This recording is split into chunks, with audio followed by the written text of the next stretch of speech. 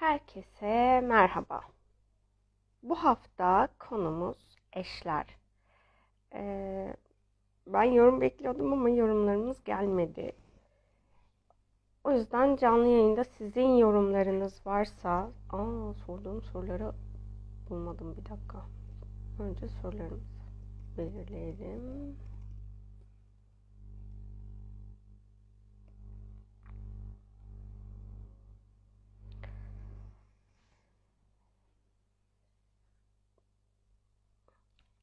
Öncelikle ben şunu ifade etmek istiyorum.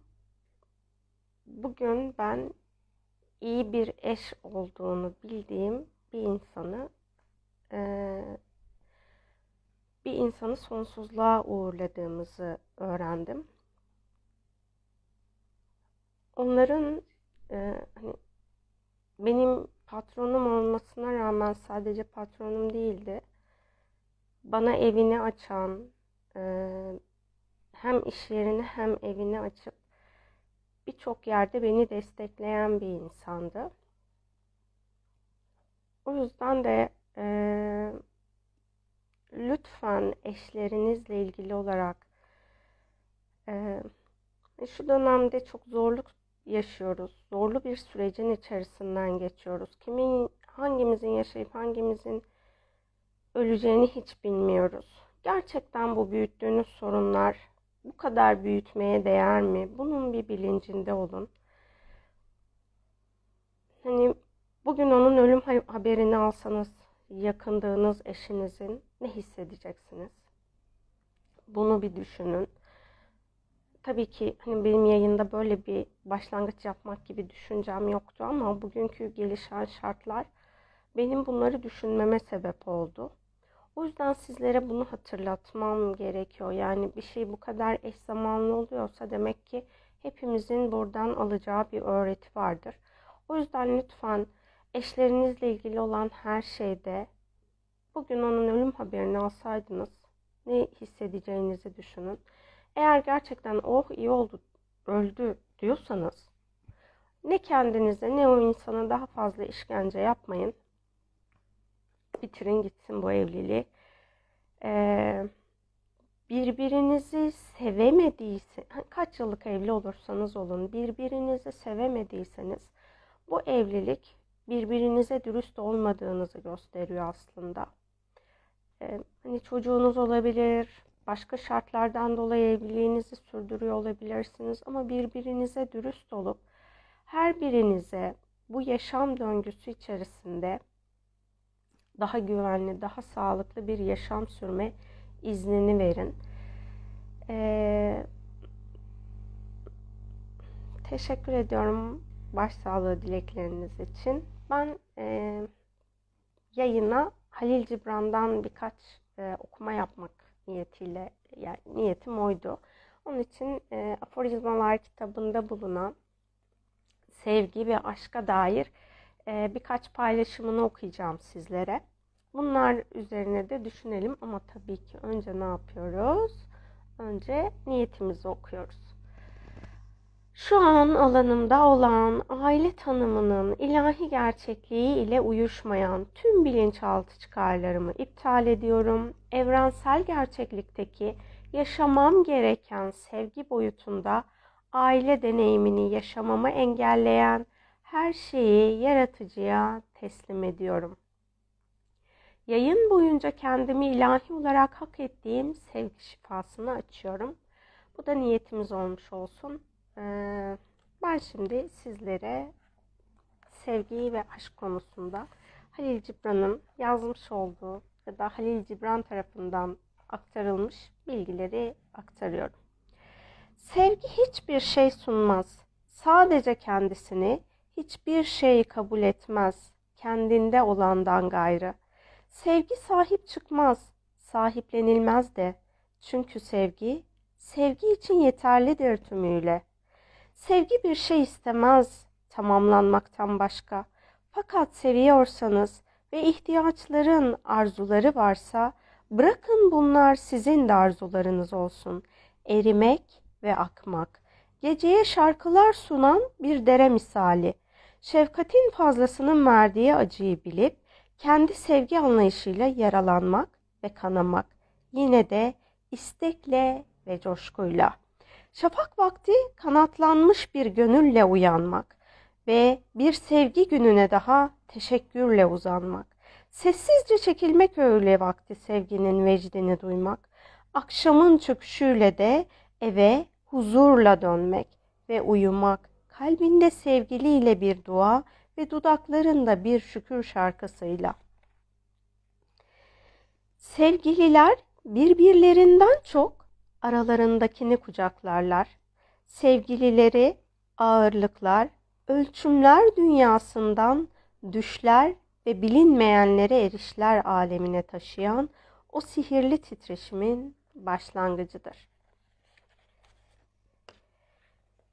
Sevgi sizi çağırınca onu takip edin. Yolları sarp ve dik olsa da ve kanatları açıldığında bırakın kendinizi. Teleklerin arasında saklı kılıç sizi yaralasa da ve sizinle konuştuğunda ona inanın. Kuzey rüzgarının bir bahçeyi harap edişi gibi sesi tüm hayallerinizin tüm hayallerinizi darmadağın etse de. Çünkü sevgi sizi yücelttiği gibi çarmıha da gerer. Sizi büyüttüğü ölçüde budayabilir de en yükseklere uzanıp güneşle titreşen en hassas dallarınızı okşasa da köklerinize inecek ve onları sarsacaktır. Toprağa, toprağa tutunmaya çalıştıklarında mısır biçen dişliler gibi sizi kendine çeker. Çıplak bırakana kadar döver, harmanlar. Kabuklarınızı, çöplerinizi ayıklar, eler. Bembeyaz olana kadar öğütür sizi. Esnekleşene kadar yoğurur ve Tanrı'nın ilahi sofrasına ekmek olasınız diye sizi kendi kutsal ateşine savurur. Sevgi bütün bunları kalbinizin sırlarını bulasınız diye yapar ve bu biliş hayatın kalbinin bir cüzünü yaratır. Sevgi ışıktan bir elin, ışıktan bir sayfaya yazdığı ışıktan bir sözdür. Birbirinizi sevin ama sevgi bir bağ olmasın. Daha ziyade ruhlarınızın sahilleri arasında hareket eden bir deniz gibi olsun. Birbirlerinizi bar, birbirlerinizin bardaklarını doldurun. Ancak aynı bardaktan içmeyin. Ekmeklerinizi paylaşın ama birbirinizinkini yemeyin. Beraberce şarkı söyleyin, dans edin, coşun. Fakat birbirinizin yalnızlığına izin verin. Tıpkı bir lavtanın tellerinin ayrı ayrı olup yine de aynı müzikle titreşmeyi bilmeleri gibi. Birbirinize kalbinizi verin ama diğerinin saklaması için değil. Çünkü yalnızca hayatın eli sizin kalplerinizi kavrayabilir ve yan yana ayakta durun ama çok yakın değil. Çünkü bir mabedin ayakları arasına arasında mesafe olmalıdır ve meşe ağacıyla selvi ağacı birbirinin gölgesi altında büyüyemez. Aşk diye seslendiğimiz şey nedir? Söyleyin bana. Bütün anlayışlara sızan ve çağlarda gizli olan o sır nedir? Başlangıçta olan ve her şeyle sonuçlanan bu anlayış nedir? Yaşamdan ve ölümden, yaşamdan daha acayip, ölümden daha derin bir düş oluşturan bu uyanıklık nedir? Söyleyin bana dostlar, içinizde yaşamın parmakları ruhuna dokunduğunda yaşam uykusundan uyanmayan biri var mı? Yüreğin sevdiğinin çağrısıyla babasından ve annesinden vazgeçmeyecek kimse var mı? İçinizden kim ruhunun seçtiği kişiyi bulmak için uzak denizlere açılmaz, çölleri aşmaz. Dağların doruğuna tırmanmaz. Hangi gencin yüreği tatlı nefesli, güzel sesi ve büyülü dokunuşlu elleriyle ruhun kendinden geçiren kızın peşinden dünyanın sonuna gitmez. Hangi varlık dualarını bir yakarış ve bağış olarak dinleyen bir tanrının önünde yüreğini tütsü diye yakmaz. Aşk seni kendimden dahi korumayı öğretti bana. Beni seninle birlikte uzak diyarlara gitmekten alıkoyan şey. Ateşle temizlenmiş o aşktır. Aşk senin özgürce ve erdemli bir şekilde yaşamana imkan vermek için içimdeki arzuyu öldürüyor. Aşkı konuşmak için dudaklarımı kutsanmış ateşle temizledim ama hiçbir sözcük bulamadım. Aşk ve şüphe bir arada bulunmaz. Aşk, aşık ile maşuk arasındaki bir maskedir. Benim Halil Cibran aracılığıyla sizlere hatırlatacağım sevgiye ve aşka dair okumalar bunlardı. Umarım e, kendi içinizde, kendi ilişki alanınıza bu gözle yeniden bakarsınız ve kutsal olan yaratıcının kutsamış olduğu evliliğinizi siz de düşüncelerinizle kutsayıp onun içindeki sevgiyi ve aşkı yaşamınıza dahil edersiniz. Ben uzun zamandan beri çokça aşk çalışması yaptım ve o aşk çalışmalarından aldığım rehberlik şu doğrultudaydı. Eğer evli olan bir çift varsa ve ilişkinin alanında bir karmaşa varsa uyanmış olan, kendini bilenin yapması gereken tek şeyin yani çiftlerden hangisi bu duruma eriştiyse onun karşı tarafı daha fazla aşkla sevmesi gerektiği bilgisini iletmişlerdi. Yani evliyseniz ve ilişkinizde sorun varsa gerçekten aşkınızı saflaştırın. Saf bir aşkla karşınızdakini sevdiğiniz zaman mutlaka birçok şey şifalanıp dönüşecektir. Ee, gerçekten çok yani e, elbette ki çok çok karmaşık durumlar yaşanmış olabilir, şiddet olabilir. İşte bu durumun içerisinde tacizler olabilir, tecavüzler olabilir. Yani bir insan evli olduğunda da tecavüze uğrar. Çünkü eğer rızası dışında eşi onunla birlikte olmayı zorla yapıyorsa bu da bir tecavüz olmuş oluyor. O yüzden bu devam edebilir. Bu konular dışında benim söylediklerim bunlarla ilgili olarak mutlaka ki yasal işlemler neyse bunları yapın. Bunlarla ilgili korkularınız varsa artık o korkulardan özgürleşin. Çünkü hayatınız hayatınızın her anı çok değerli. Bu değerin farkında olun. Bu bilinçle ilerleyin ve e, kendi hayatınıza değer vererek e, almanız gereken destek neyse bu desteği alarak ilerleyin. Gerçekten çaresiz değilsiniz. Hakikaten siz kalben niyet ettiğinizde belki maddi durumunuz da yok o yüzden bu evliliği sürdürüyorsunuz. Bu da olabilir ama yaratıcı size mutlaka ki kapılar açacaktır. Eğer gerçekten bu kadar zorlu koşullar altındaysanız.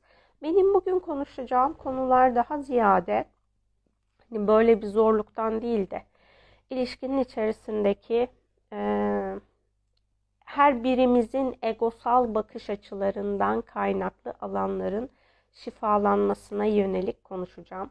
Tabii ki eş alanıyla birlikte e, edinilen diğer aile bireylerinin etkileşimi ve iletişimi de dahil olmuş oluyor bu konuya. Edinilenden kastım işte bizim toplumumuzda kayınvalide, kayınpeder, e, kayınbirader, görümce tanımları da girmiş oluyor bu alanın içinde. Çünkü eş sadece bir kişi değildir.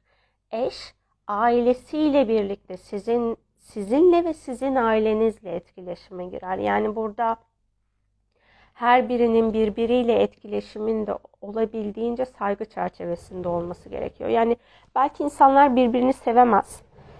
Bu konuda kimse kimseyi sevmesi için zorlayamaz ama birbirimize hepimizin saygı göstermemiz gerekiyor. O yüzden saygı gösterecek hem size hem de e, ailenize saygı gösterecek insanlarla yolunuzu bir araya getirin. Bu da evlenmemiş olanlara olan bir ifadem. Evlen, evlendiyseniz ve bunların her birinin alanında bir sorun varsa bu da yine bizim ruhsal olarak deneyimlediğimiz bir programdan kaynaklanıyor. Bu deneyimlenen programın şifalanması için ben ne yapabilirim?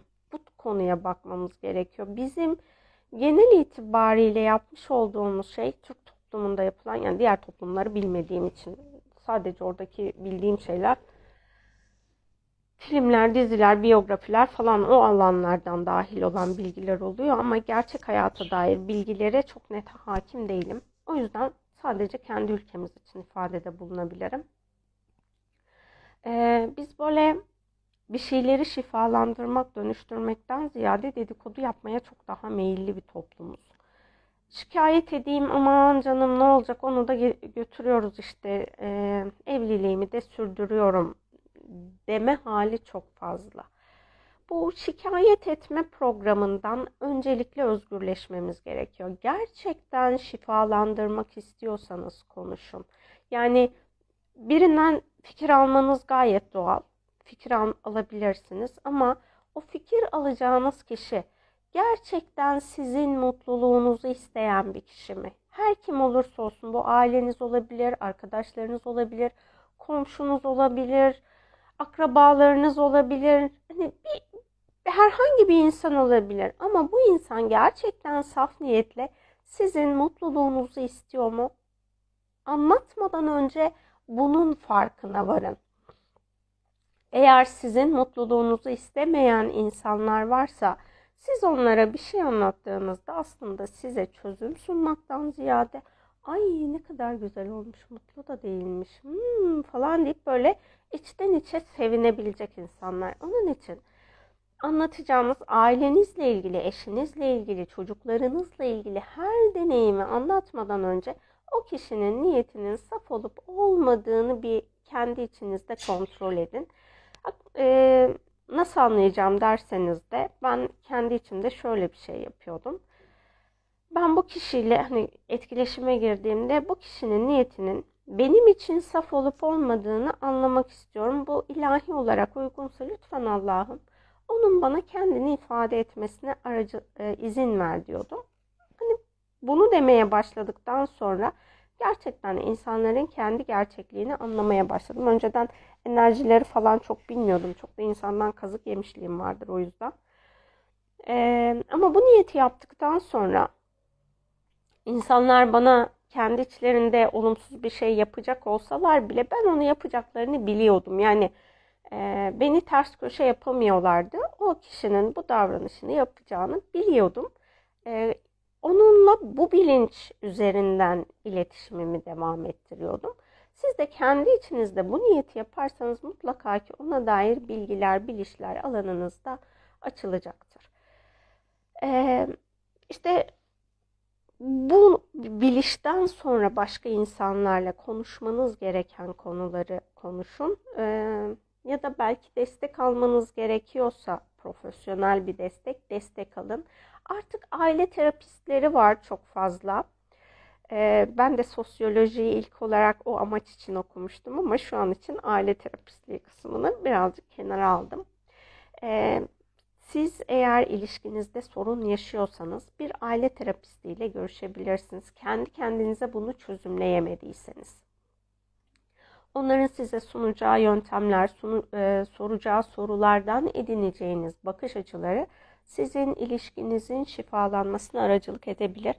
Yalnız öyle bir destek almayı düşünüyorsanız ya da bu yayını izlerken gerçekten şifalanmak istiyorsanız haklı çıkma programını bir iptal edin öncelikle. Çünkü haklı çıkmaya odaklanırsanız hiçbir şeyi şifalandıramazsınız ve harcadığınız zaman da sadece sizin hayatınızdan alınmış zamanlar olur. Lütfen önce kendinize dürüst olun ki e, bu konuda haklı çıkmak mı istiyorsunuz? Evliliğinizin sevgiye dönüşmesini dönüşmesini mi istiyorsunuz? Bu konuya bakın. Benim sizlere sorduğum sorular da şunlar, şunlardı. Eşinize e, eşinizle ilişkinizin her biriniz için daha keyifli ve daha sevgi ilişkisi içinde olması için siz kendinizde hangi davranışlarınızı değiştirmelisiniz? Eşinize eğer aşık değilseniz ona karşı aşk hissetmeniz için ne yapmalısınız? Eşinizle sevgi ya da aşk olmadan sadece hayatınızı kolaylaştırsın diye mi birliktesiniz? Eşiniz size karşı sevgi olmayan tutum içinde olduğu zamanlarda siz ne yapmasaydınız o anınız daha çabuk sevgiye dönüşürdü. Siz eşinizi, eşiniz sizi özgür sevgiyle mi seviyorsunuz? Hangi beklentileriniz sizi eşinizle ilişkinizde mutsuz ediyor? Şifalanması bilinciyle haklı aramadan başka aktarmak istediğiniz eşinizle deneyimlerinizi de dilerseniz paylaşabilirsiniz diye bir yorum yaptım. Ben bu yorumun altına çok fazla mesaj bekliyordum ama gelmedi. Sadece bir tane mesajımız var. Ben daha önce e, Sevgi Dilleri kitabını hatırlat e, ifade ettim çokça. Hatta Perşembe günü yaptığımız yayında da Sevgi Dilleri kitabını gösterdim, anlattım. Orada şundan bahsediyor. Gary Chapman'ın yazmış olduğu bir kitap. Beş sevgi dilinden bahsediyor. Her birimizin beş e, ana bir tane programı ama birkaç tane de yan sevgi dili olabiliyor.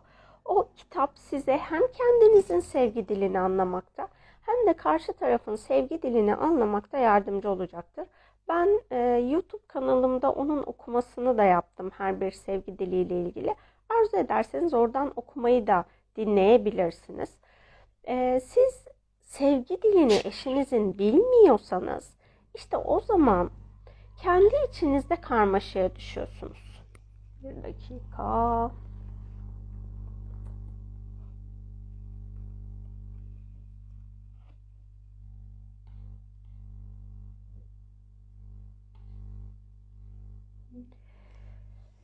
Ee, şimdi 5 5 tane sevgi dilinin neler olduğunu söyleyeyim. Onay sözleri, nitelikli beraberlik, armağan alma, hizmet davranışları, fiziksel temas. Ee, eğer sevgi diliniz sizin ya da eşinizin onay sözleri ise yani sürekli onaylanmak istiyorsanız bir, çok ufak bir şeyden dahi ay bunu ne kadar güzel yapmışsın, harika yapmışsın, eline sağlık. Bu işte hani onay sözleri bunları içeriyor.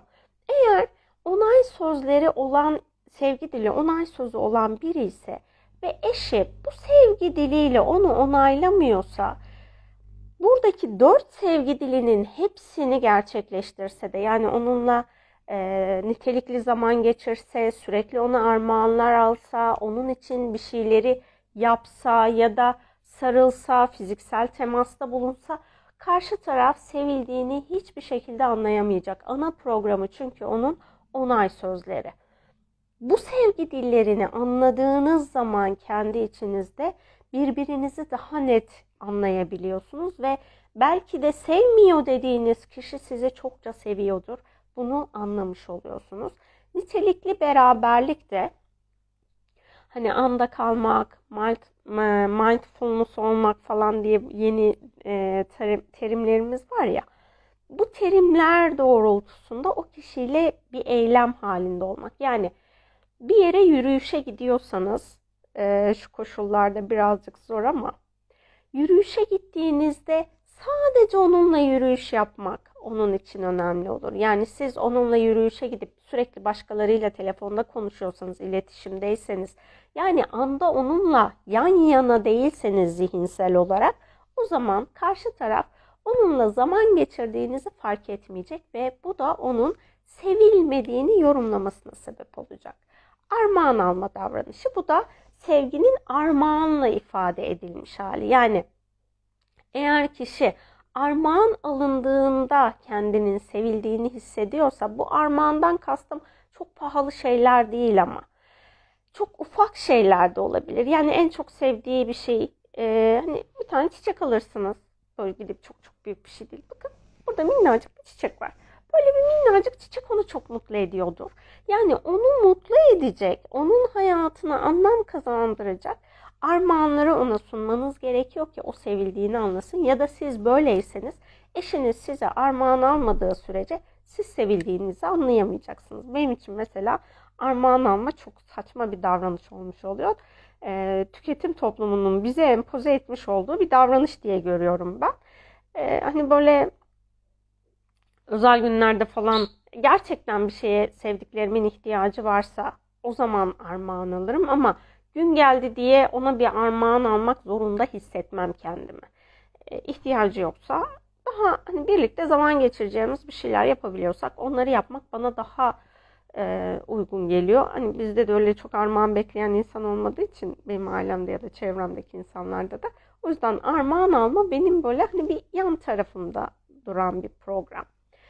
Hizmet davranışları e, bu da sürekli olarak kendine hizmet edilmesinden hoşlanıyor. Yani bazen şey deniliyor ya ay canım bir bardak suyu da kalkıp almıyorsun her şeyi benden istiyorsun. Aslında o eğer hizmet davranışlarından hani onun sevgi dili hizmet davranışıysa o getirilen bir bardak su bile ona sevildiğini fark ettirecek. Karşı taraf ama bunu kendini kullanılma olarak yorumlayabilir. Ee, o yüzden bu dilleri öğrendiğinizde sizin e, ilişki alanınızda bu sadece eş değil tabii ki. Çocuklarınız ve arkadaşlarınız için de bu bu etkileşim alanının farkında olursanız iletişim alanınız, ilişki alanınız daha dengeli olur. Fiziksel temasta e, dokunulmak, işte bazı insanlar dokunulmaktan hoşlanıyor, bazıları hoşlanmıyor. E, hoşlananlar fiziksel temas sevgi dili, fiziksel temas olanlar olmuş oluyor. O yüzden siz onlara dokunmadığınız sürece yani işte hani konuşurken böyle omzuna dokunmak, ona sarılmak, e, e belki armağan almaktan çok bir şey olduğu zaman ay ne kadar güzel bir şey oldu gel bir sarılalım dediğinizde onun o sarılma hissiyle hissettiği bağlılık çünkü biz aslında birbirimize sarıldığımızda temas ettiğimizde oksitosin hormonumuz da artmış oluyor. Özellikle evliliklerde oksitosin hormonu çok e, önem arz ediyor. Eğer e, kişilerde oksitosin hormonu azsa bu aldatmanın da önünü açabildiği söyleniyor. Hani kesin değil ama bu pro, e, oksitosin bağlılığı sağlıyor. Aslında oksitosin daha çok anne anne ile çocuk arasında olmuş oluyor. Anne çocuğu emzirdiği süreçlerde fazla salgılanan bir hormon bildiğim kadarıyla. Ama e, insanın birbirine bağlanması için de oksitosin hormonunun olması gerekiyor. O yüzden eşlerin birbiriyle o bağlılığı hissedeceği oksitosin hormonunun salgılanacağı işte bu sevgi dilleri de aslında e, kişinin o bağlılığı hissettiği programları devreye almış oluyor. Siz birbirinizle bağınızı güçlendirdiğinizde ama bu bağınızı güçlendirmek dip dibe birlikte yaşamak falan değil her iki tarafın kendine özgür kalacağı alanlar bırakmak gerekiyor. Halil Cibran'ın şiirinde okuduğumuz gibi mabedin e, sütun ayakta kalabilmesi için sütunlarının ayrı olması gerekiyor. Yani şöyle düşünün. Böyle iki tane sütun olduğunda ben buraya bir e, üstüne kubbe yapabilir miyim? Yapamam. Niye? Yıkılır. Çünkü merkezde duruyor zaten ikisi de. Ama ben o kubbenin doğru yerine doğru olarak hesaplanmış alanındaki açıklığa e, boşluk bırakarak sütunları diktiğimde o zaman o tapınak ya da işte o inşa edeceğimiz şeyin kubbesi sağlam olacaktır. Diğer türlü yıkılacaktır. En ufak sarsıntıda bugün Selimiye Camii ile ilgili bir bilgi okudum. Hani ne kadar doğru ne kadar yanlış bilmiyorum. Ben sosyal medyada okuduğum her bilgiye artık güvenemiyorum. Çünkü birçoğunda yanlış bilgi de olabiliyor. Araştırma zamanımda olmadı ama şöyle ifade edilmişti orada. Aslında Selimiye Camii'nin yapıldığı yer e, zemin olarak sağlam bir zemin değilmiş.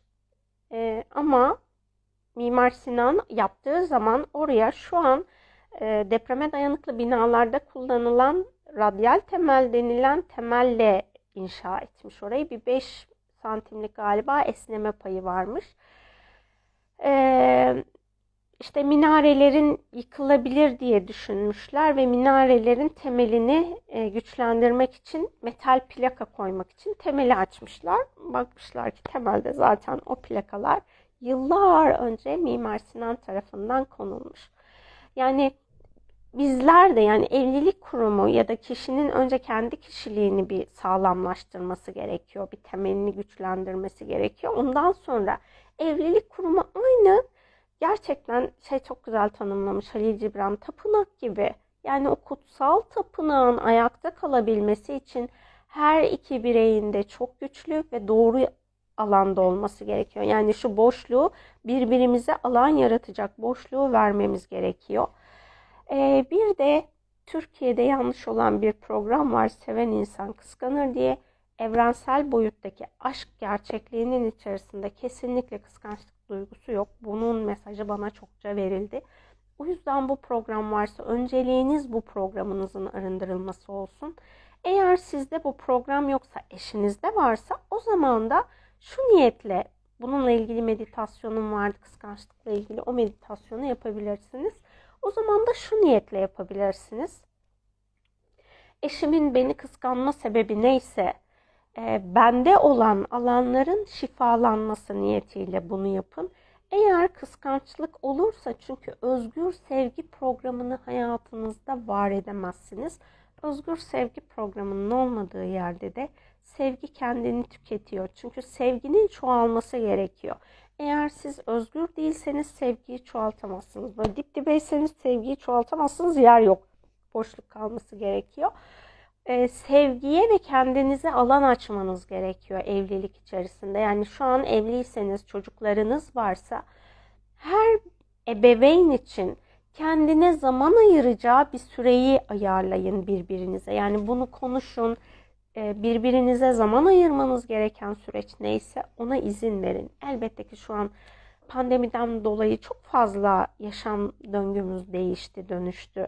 Ama e, şu anki koşullara göre kendinize özgürlük alanı belirleyin. Belki bir odaya gidecektir ve siz onu o odada bir saat rahatsız etmeyin. Siz veya evdeki herhangi biri.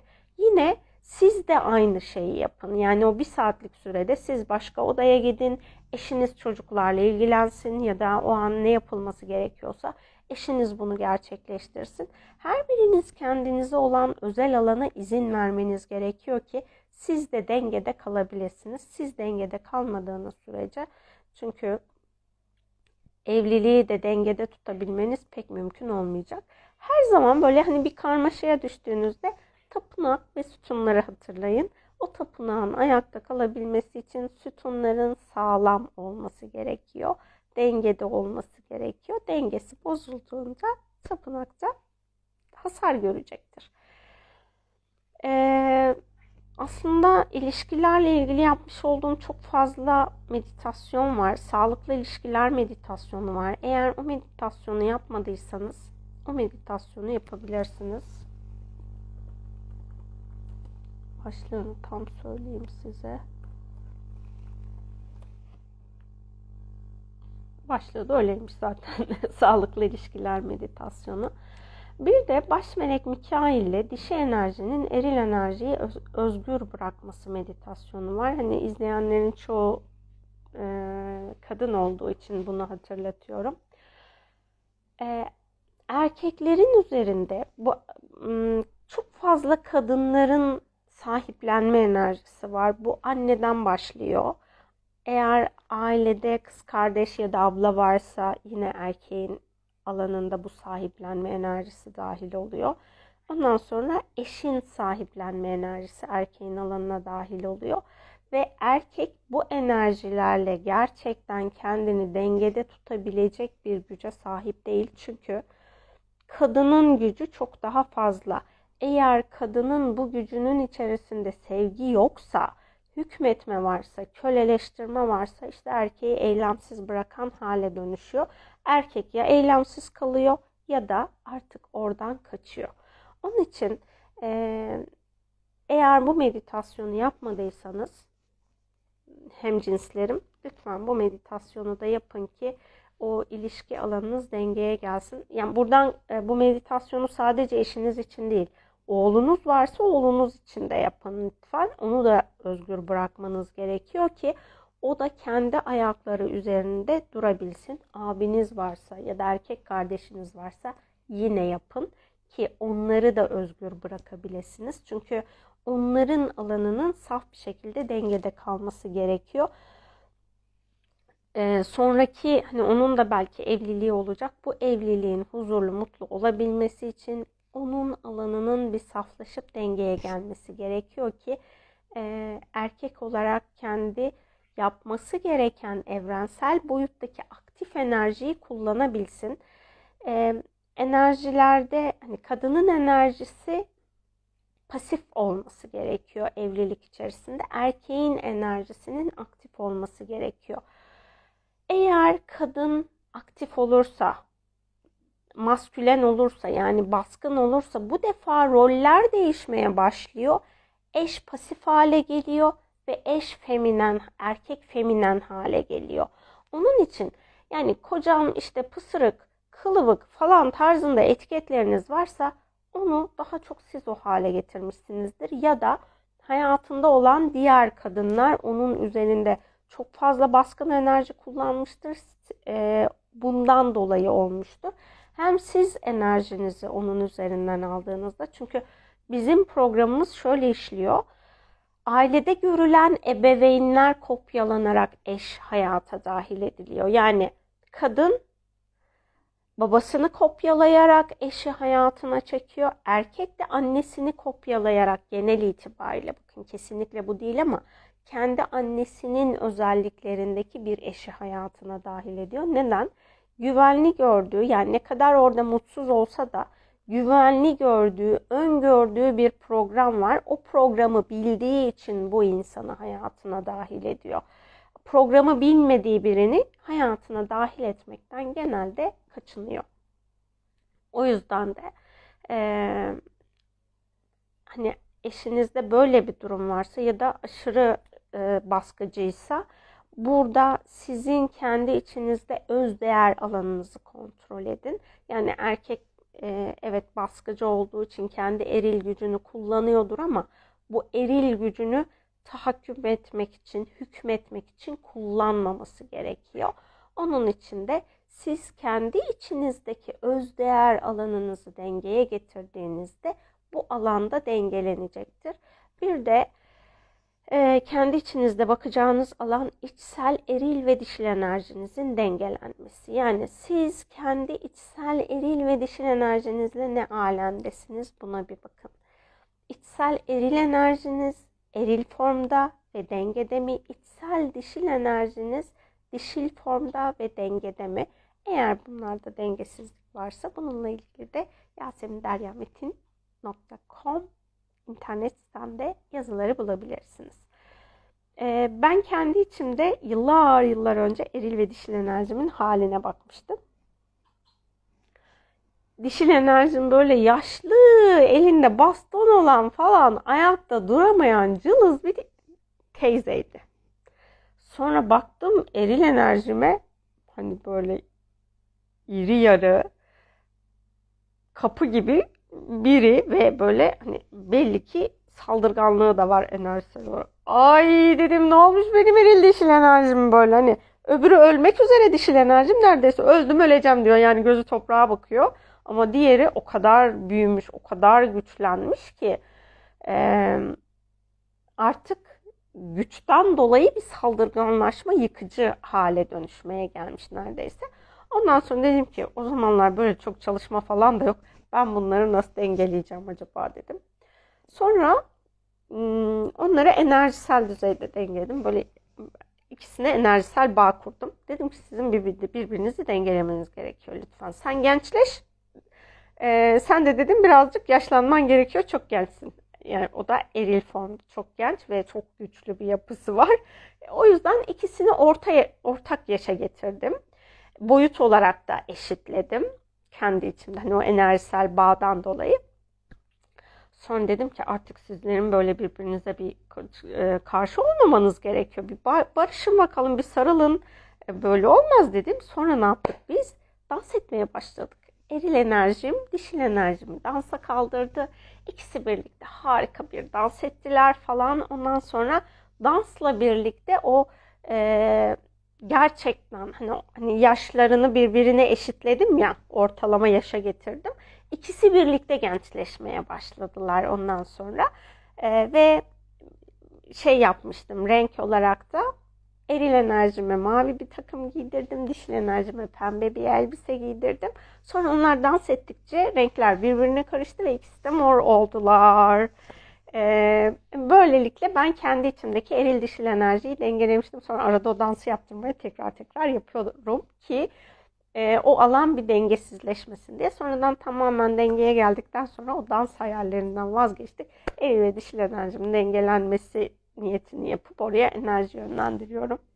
O biraz daha kısa oluyor ama böyle eğlenmek istiyorsanız kendi kendinize yapacağınız eril ve dişil enerjinizi dengelemek için hayal kurarak, böyle vizyonlar yaparak yapabileceğiniz çalışmalar da var. Yazılarım da var zaten. O yazılar sonradan ortaya çıktı. Öncesinde ben bilmiyordum. E, sonrasında ortaya çıkan yazılar olmuş oldu. E, bir de bizim içsel parçalarımız içerisinde frekansı daha yüksek olan içsel tanrı ve içsel tanrıça parçamız var. Bu da içsel eril ve içsel dişil enerjimizin daha frekansı yüksek formlar olmuş oluyor aslında. Tanrı ve tanrıça kavramları ile ilgili çok fazla karmaşa var. Şurada ifade edeyim. Tanrıla, tanrı ve tanrıça boyutundaki her bir form yaratılmış formlar. Onlar frekansı yüksek. Yani insanlardan e, ve birçok ruhsal varlıktan frekansı daha yüksek olan varlıklar. Yani onlar yaratıcı değiller. Allah değiller. Önce bunun bir ayrımına varın. Çünkü Tanrı kavramı ve Tanrıça kavramının içinde çok karmaşa var. E, bu bilinçle yani ben ben kendi adıma söyleyeyim. Başka insanlar Tanrı ya da Tanrıça kavramını ne için kullanıyor bilmiyorum. Ben bu niyetle kullanıyorum. Bu bilgi doğrultusunda kullanıyorum. Onlar da yaratılmış bizim daha üst frekanslı parçamız olmuş oluyor. O yüzden kendi içsel tanrı ve tanrıçanızın da olabildiğince saf, olabildiğince aydınlık e, olmasına ve birbirleriyle uyum içerisinde olmasına özen göstermeniz gerekiyor. Bunu da yine aynı içsel eril ve dişil enerjiye yapacağınız çalışma gibi içsel tanrı ve içsel tanrıçanız için de bu çalışmayı böyle yapabilirsiniz. E, imgeleyerek mi yoksa yaşam içerisinde uygulaması var mı? Hani içsel eril ve dişil enerjimizi fiziksel formda nasıl göreceğiz? Eğer istiyorsanız hani eşinize ve kendinize eşinize kendi içsel eril enerjinizin rolünü, kendinize de içsel dişil enerjinizin rolünü verip dediğim dansı yapabilirsiniz. Ondan sonra şöyle yaparak bağları kesiyorum deyip ben benim deyin ee, ki hani kendi benliğiniz olsun ee, siz tam halinizle eşiniz de kendi olduğu haliyle olsun. Böyle de yapabilirsiniz. Ama bağ kesmeyi unutmamanız gerekiyor. Çünkü eğer siz o rolü karşı tarafa verirseniz ya da siz herhangi bir role girerseniz ve bağı kesmezseniz siz kendi benliğinizde var olmazsınız. O verdiğiniz rol neyse o rolle yaşamınızda var olursunuz. O yüzden o da böyle. Sonra bir de eski aşklardan ve ilişkilerden özgürleşme meditasyonu var. Eğer daha önceden yaşadığınız ilişkiler olduysa e, bu ilişkilerle ilgili olan alanı da kapatmanız gerekiyor. Siz bu alanı kapatmazsanız e, özellikle cinsel birliktelik esnasında diğer birlikte olduğunuz kişilerin enerjisini de kendi yatağınıza getirmiş olursunuz. Yine eşinizin birlikte olduğu yani geçmişte birlikte olduğu ama görüşmese bile o insanların enerjisel bağı devam ediyor. Çünkü e, cinsel birliktelik yaşandığı anda kök çakradan önce başlayıp sonrasında tüm çakralardan bağlar kuruluyor.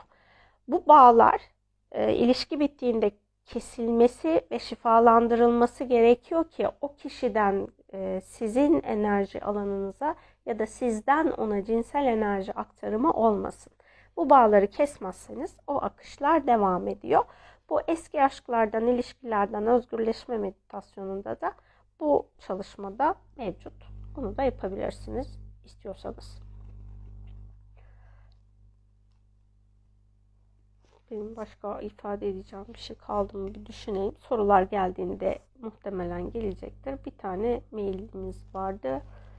Merhaba Yasemin Hanım. Pazar günü olan yayını kaçırdım. İyi çalışmalar diyerek iki soru ile başlıyorum. Birincisi şifalandırma çalışmasını siz bizim için yapıyor musunuz? Hayır. Bu yayınların amacı size farkındalık kazandırmak, e, zaten yap, yapmış olduğum meditasyonları ya da yazıları hatırlatıp kendi yolculuğunuzu kendiniz yapmanız için.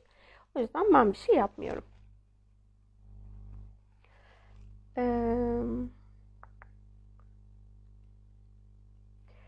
eşim ile ilgili olan kısım çözülmüyor. Eşim çok iyi bir insan, severek de evlendim. Çok çok iyi bir ilişkimiz vardı evlenmeden önce. Evlendikten sonra da aramızdaki tek sorun yüksek miktarda alkol alması. 4 yıllık evliyim, 4 yıldır alkolden ve bu tür ortamlardan vazgeçmedi. Kendini kaybediyor. Babası da aynı şekilde hatta daha da ileri derecede öyleymiş ve eşim küçükken babası vefat etmiş. Eşim içtikten sonra istemiyor, pişman oluyor, bırakacağım diyor ama yine içiyor. Bu arada her gün diyebiliriz. E, tahminim babasının da onunla birlikte olduğu yönünde bana yol gösterir misiniz? Önce bu konuyla ilgili eşinizin e, destek almayı kabul etmesi gerekiyor. Yani bu kadar fazla bağımlılık oluştuysa onun e, destek almadan bu durumdan çıkması çok kolay değil. Onu kendin hani ilişkinizin de düzelebilmesi için, onun da sağlığını koruyabilmesi adına onunla konuşup bir destek almayı önermeniz gerekiyor. E, çünkü bu benim ya da bir başkasının anlatabileceği bir şey değil. Bu e, bu deneyimi yaşayan kişinin kendisinin karar verip ondan sonra bu süreçte de iradeli olması gerekiyor. Çünkü e, bağımlılık maddeleri, alkol, sigara, uyuşturucu ya da başka bağımlılık e, durumları da olabiliyor. İşte davranışsal bağımlılıklar olabiliyor. Seks bağımlılığı olabiliyor, alışveriş bağımlılığı olabiliyor. Şu an günümüzde teknolojik oyun bağımlılıkları çok fazla. Yani çok fazla bağımlılık e, çeşitleri var. Bunların her birinde işleyişi hani araştırdığım kadarıyla öğrendiklerimden şöyle olmuş oluyor. Bizim bir ödül merkezimiz var. Ee, biz o ödüle ulaştığımız zaman beynimiz dopamin hormonunu e, salgılıyor. Dopamin hormonu da herhangi bir bağımlılık maddesi bedene alındığında bedenin kendi kendine salgıladığı doz artık o birey için yeterli hale gelmiyor.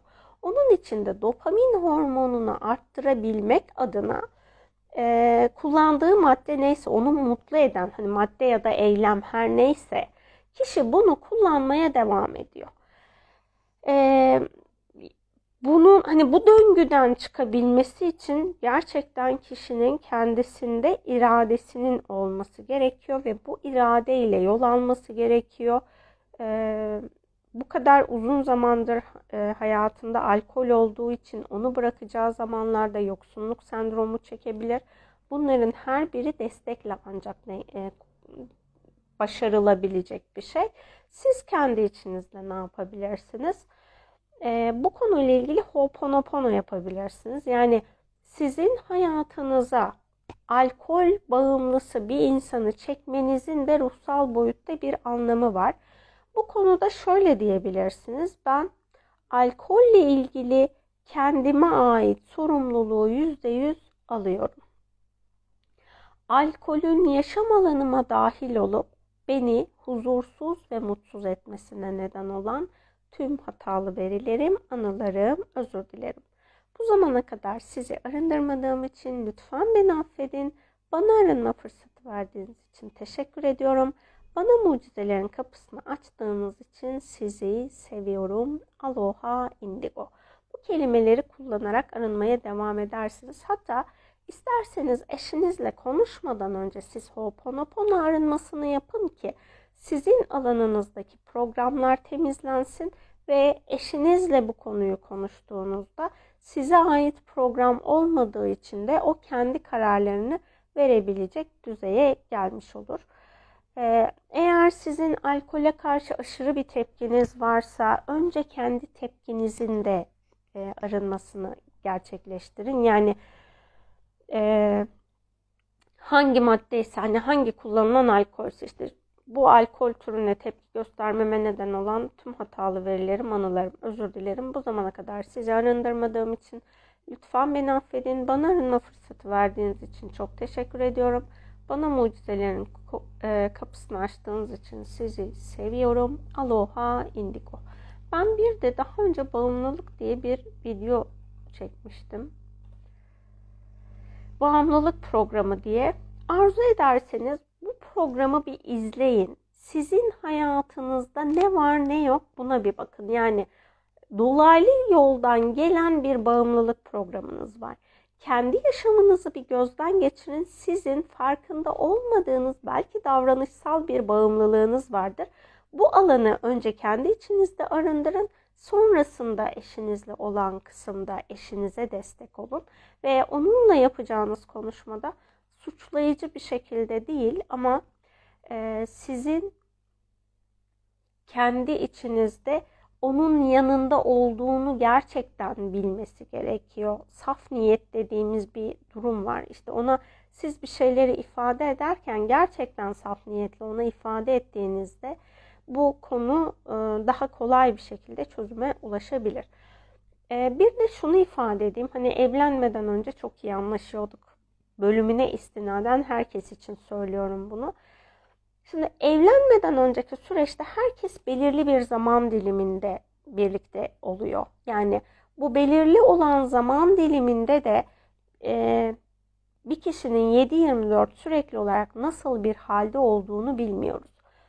Orada daha iyi zaman geçirebilmek için olumsuz duygular baskılanıyor olabilir, olumsuz davranışlar sergilenmiyor olabilir ama evlendikten sonra artık e, hani iş yerine gittiği zaman insanlar ayrılıyordu eskiden. Şu an birçok insan evden çalıştığı için bu ayrılma da gerçekleşmiyor. O yüzden hep birlikteler ve bu hep birliktelik halinde iki tane ayrı ortamda yetişmiş birey ortak bir yaşam alanında buluşmaya başlıyor. Bu ortak yaşam alanında buluşmaya başladıklarında yani o kişinin kendi anne babasının onun hayatında yapmış olduğu çeşitli davranışlar var. Belki sorumluluk vermedi. Size de belki aileniz sorumluluk vermedi ama artık ikinizin o evlilik içerisinde yepyeni bir sorumluluk alanı var. Yepyeni değerleri var. Bunların her iki tarafta bilincinde olması gerekiyor ve bunları birbirinize ifade etmeniz gerekiyor. Yani ben hep şunu söylüyorum. Her ne olursa olsun ilişkinizle ilgili mutlaka birbirinizle konuşun. Eğer konuşmazsanız bunları yanlış yorumlayabilirsiniz. Özellikle cinsellik alanı ile ilgili konuşun. Çünkü şu an çok fazla e, porno aracılığıyla programlar kişilerin alanına dahil olmuş oluyor. Yani bu pornoya ulaşmak için çok böyle e, illa gireyim de porno sitesine bakayım falan demenize gerek yok. Birçok e, siteye girdiğinizde orada verilen reklamlar var. Bu reklamlar aracılığıyla da kadın bedeninin çıplaklığı, erkek bedeninin çıplaklığı falan her şeyi görebiliyorsunuz. E, bu da doğal olarak bizim bilinçaltımızdaki cinsellik programlarını da etkiliyor. Yani orada e, dediğim gibi direkt porno izlememiş olsa bile bireyler bu sağdan soldan gösterilen birçok diziye bakıyorsunuz işte e, kadın vücudu öne çıkartılıyor ya da erkek vücudu öne çıkartılıyor ya da reklamlar e, bu programlar dahilinde oluyor. Yani beden metal, metalaştırılmış oluyor. Şimdi beden metalaştırıldığı için sürekli insan bu e, bedene maruz kaldığında o zaman kendini de beğenemeyebiliyor, eşini de beğenemiyor. İşte bu da kişilerin artık başka arayışlara geçiş yapmasına, kendini zihinsel düzeyde hazza odaklayacak, hazza ulaştıracak e, durumları yaşatmasına sebep olabiliyor. Onun için özellikle cinsellik konusunu eşinizle mutlaka konuşun. E, cinsellikten hani neyi yapmaktan hoşlanıyor, siz neyi yapmaktan hoşlanıyorsunuz, neyi yapmaktan hoşlanmıyorsunuz, o ne yapılmasından hoşlanılmıyor.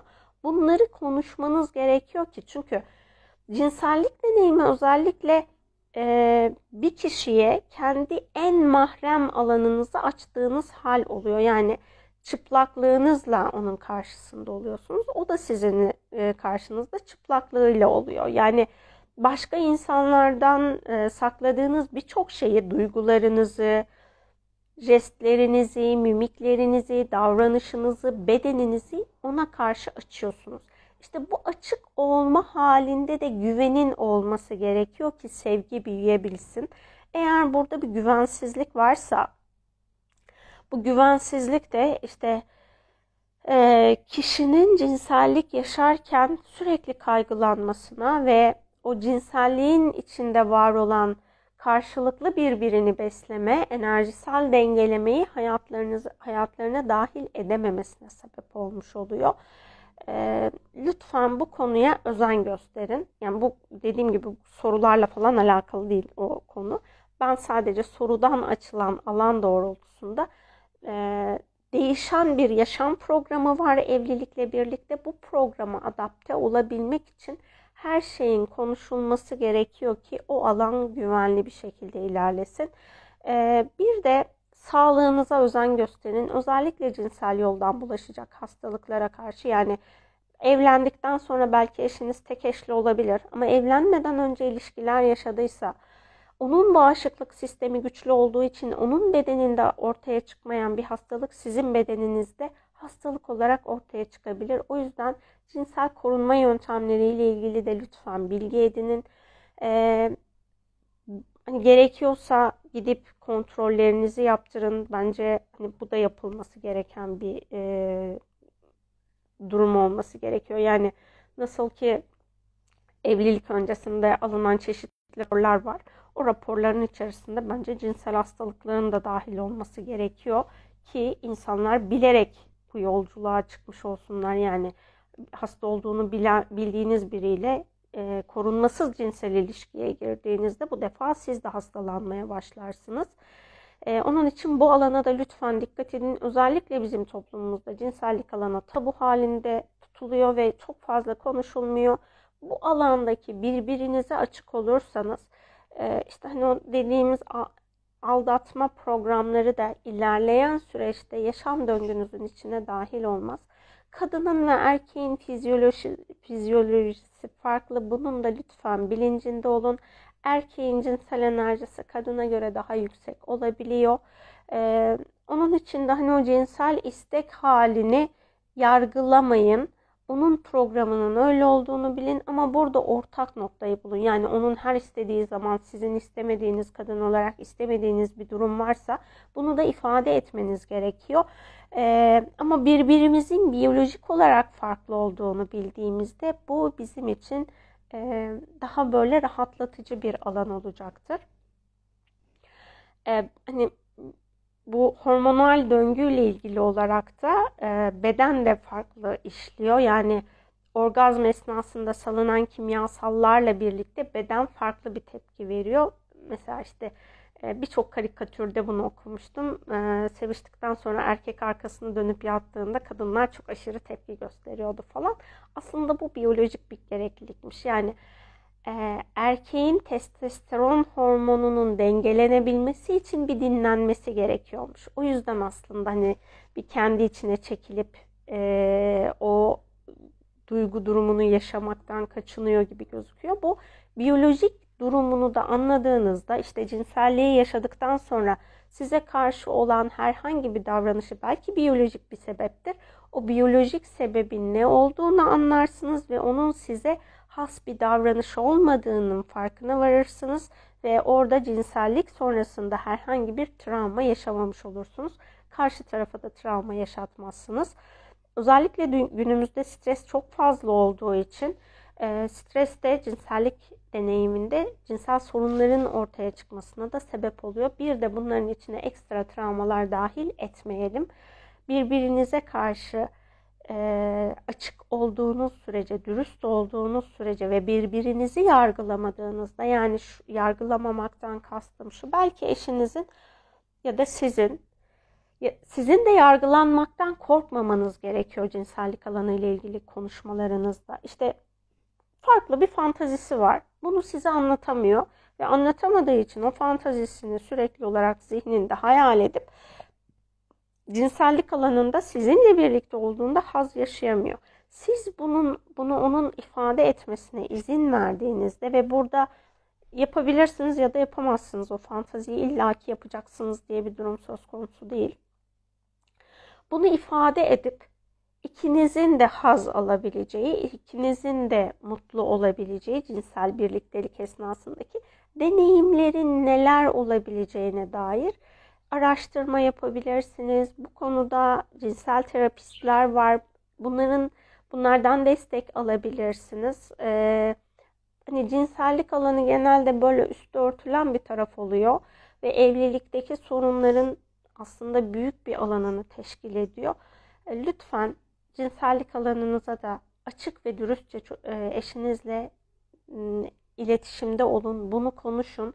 Burada değişmesi, dönüşmesi gereken ne varsa bunun değişip dönüşmesine e,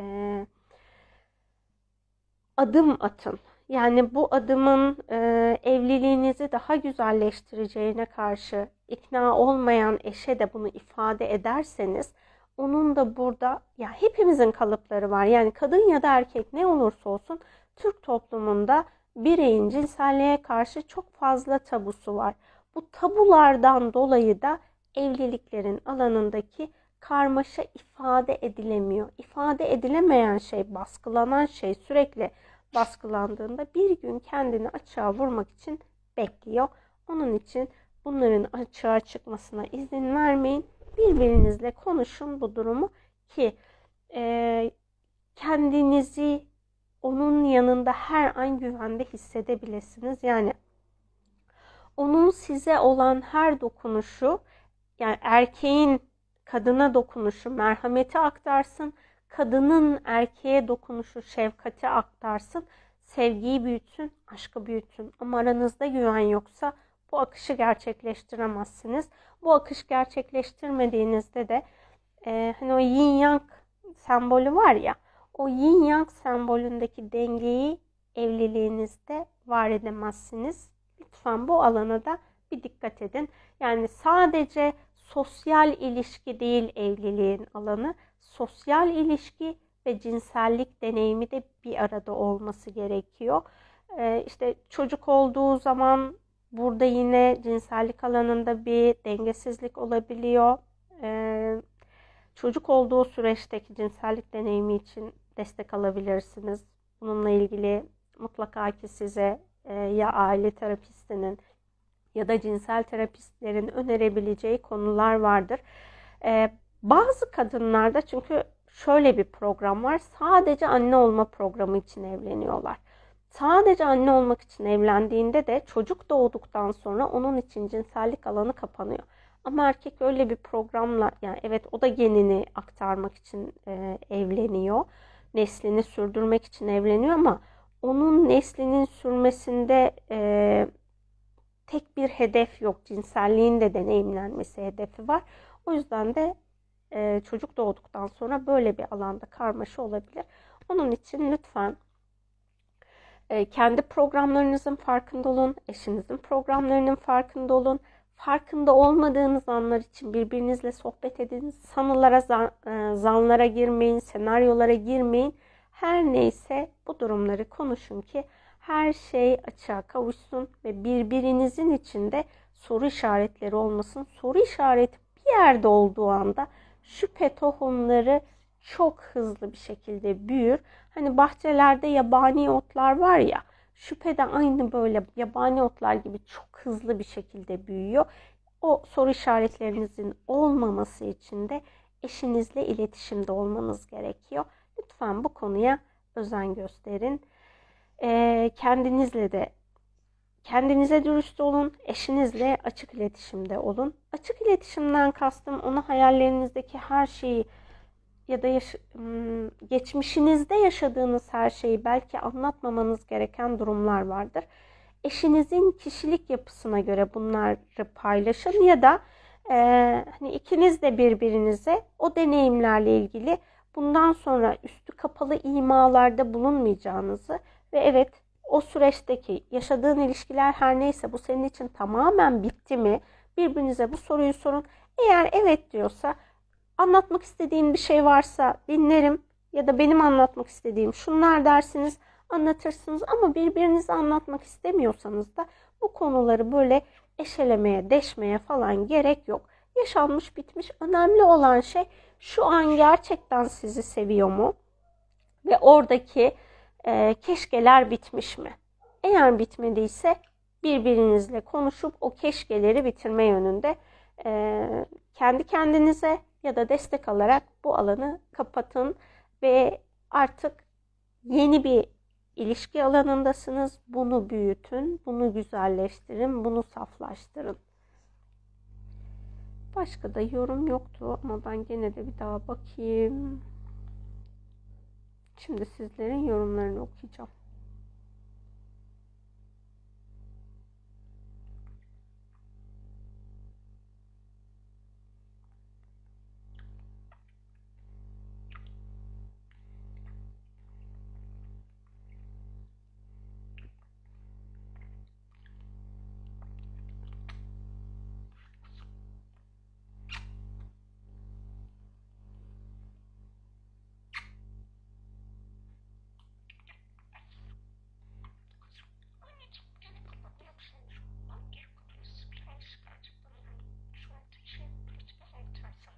Evet, şimdi sizlerin yorumlarını okumaya başlıyorum. Başka sorumuz yokmuş.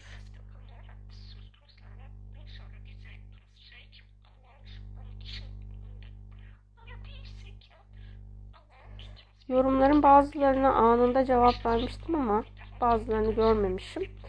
Ee, okuduğum yazı için teşekkür etmişsiniz. Beğenmenize sevindim.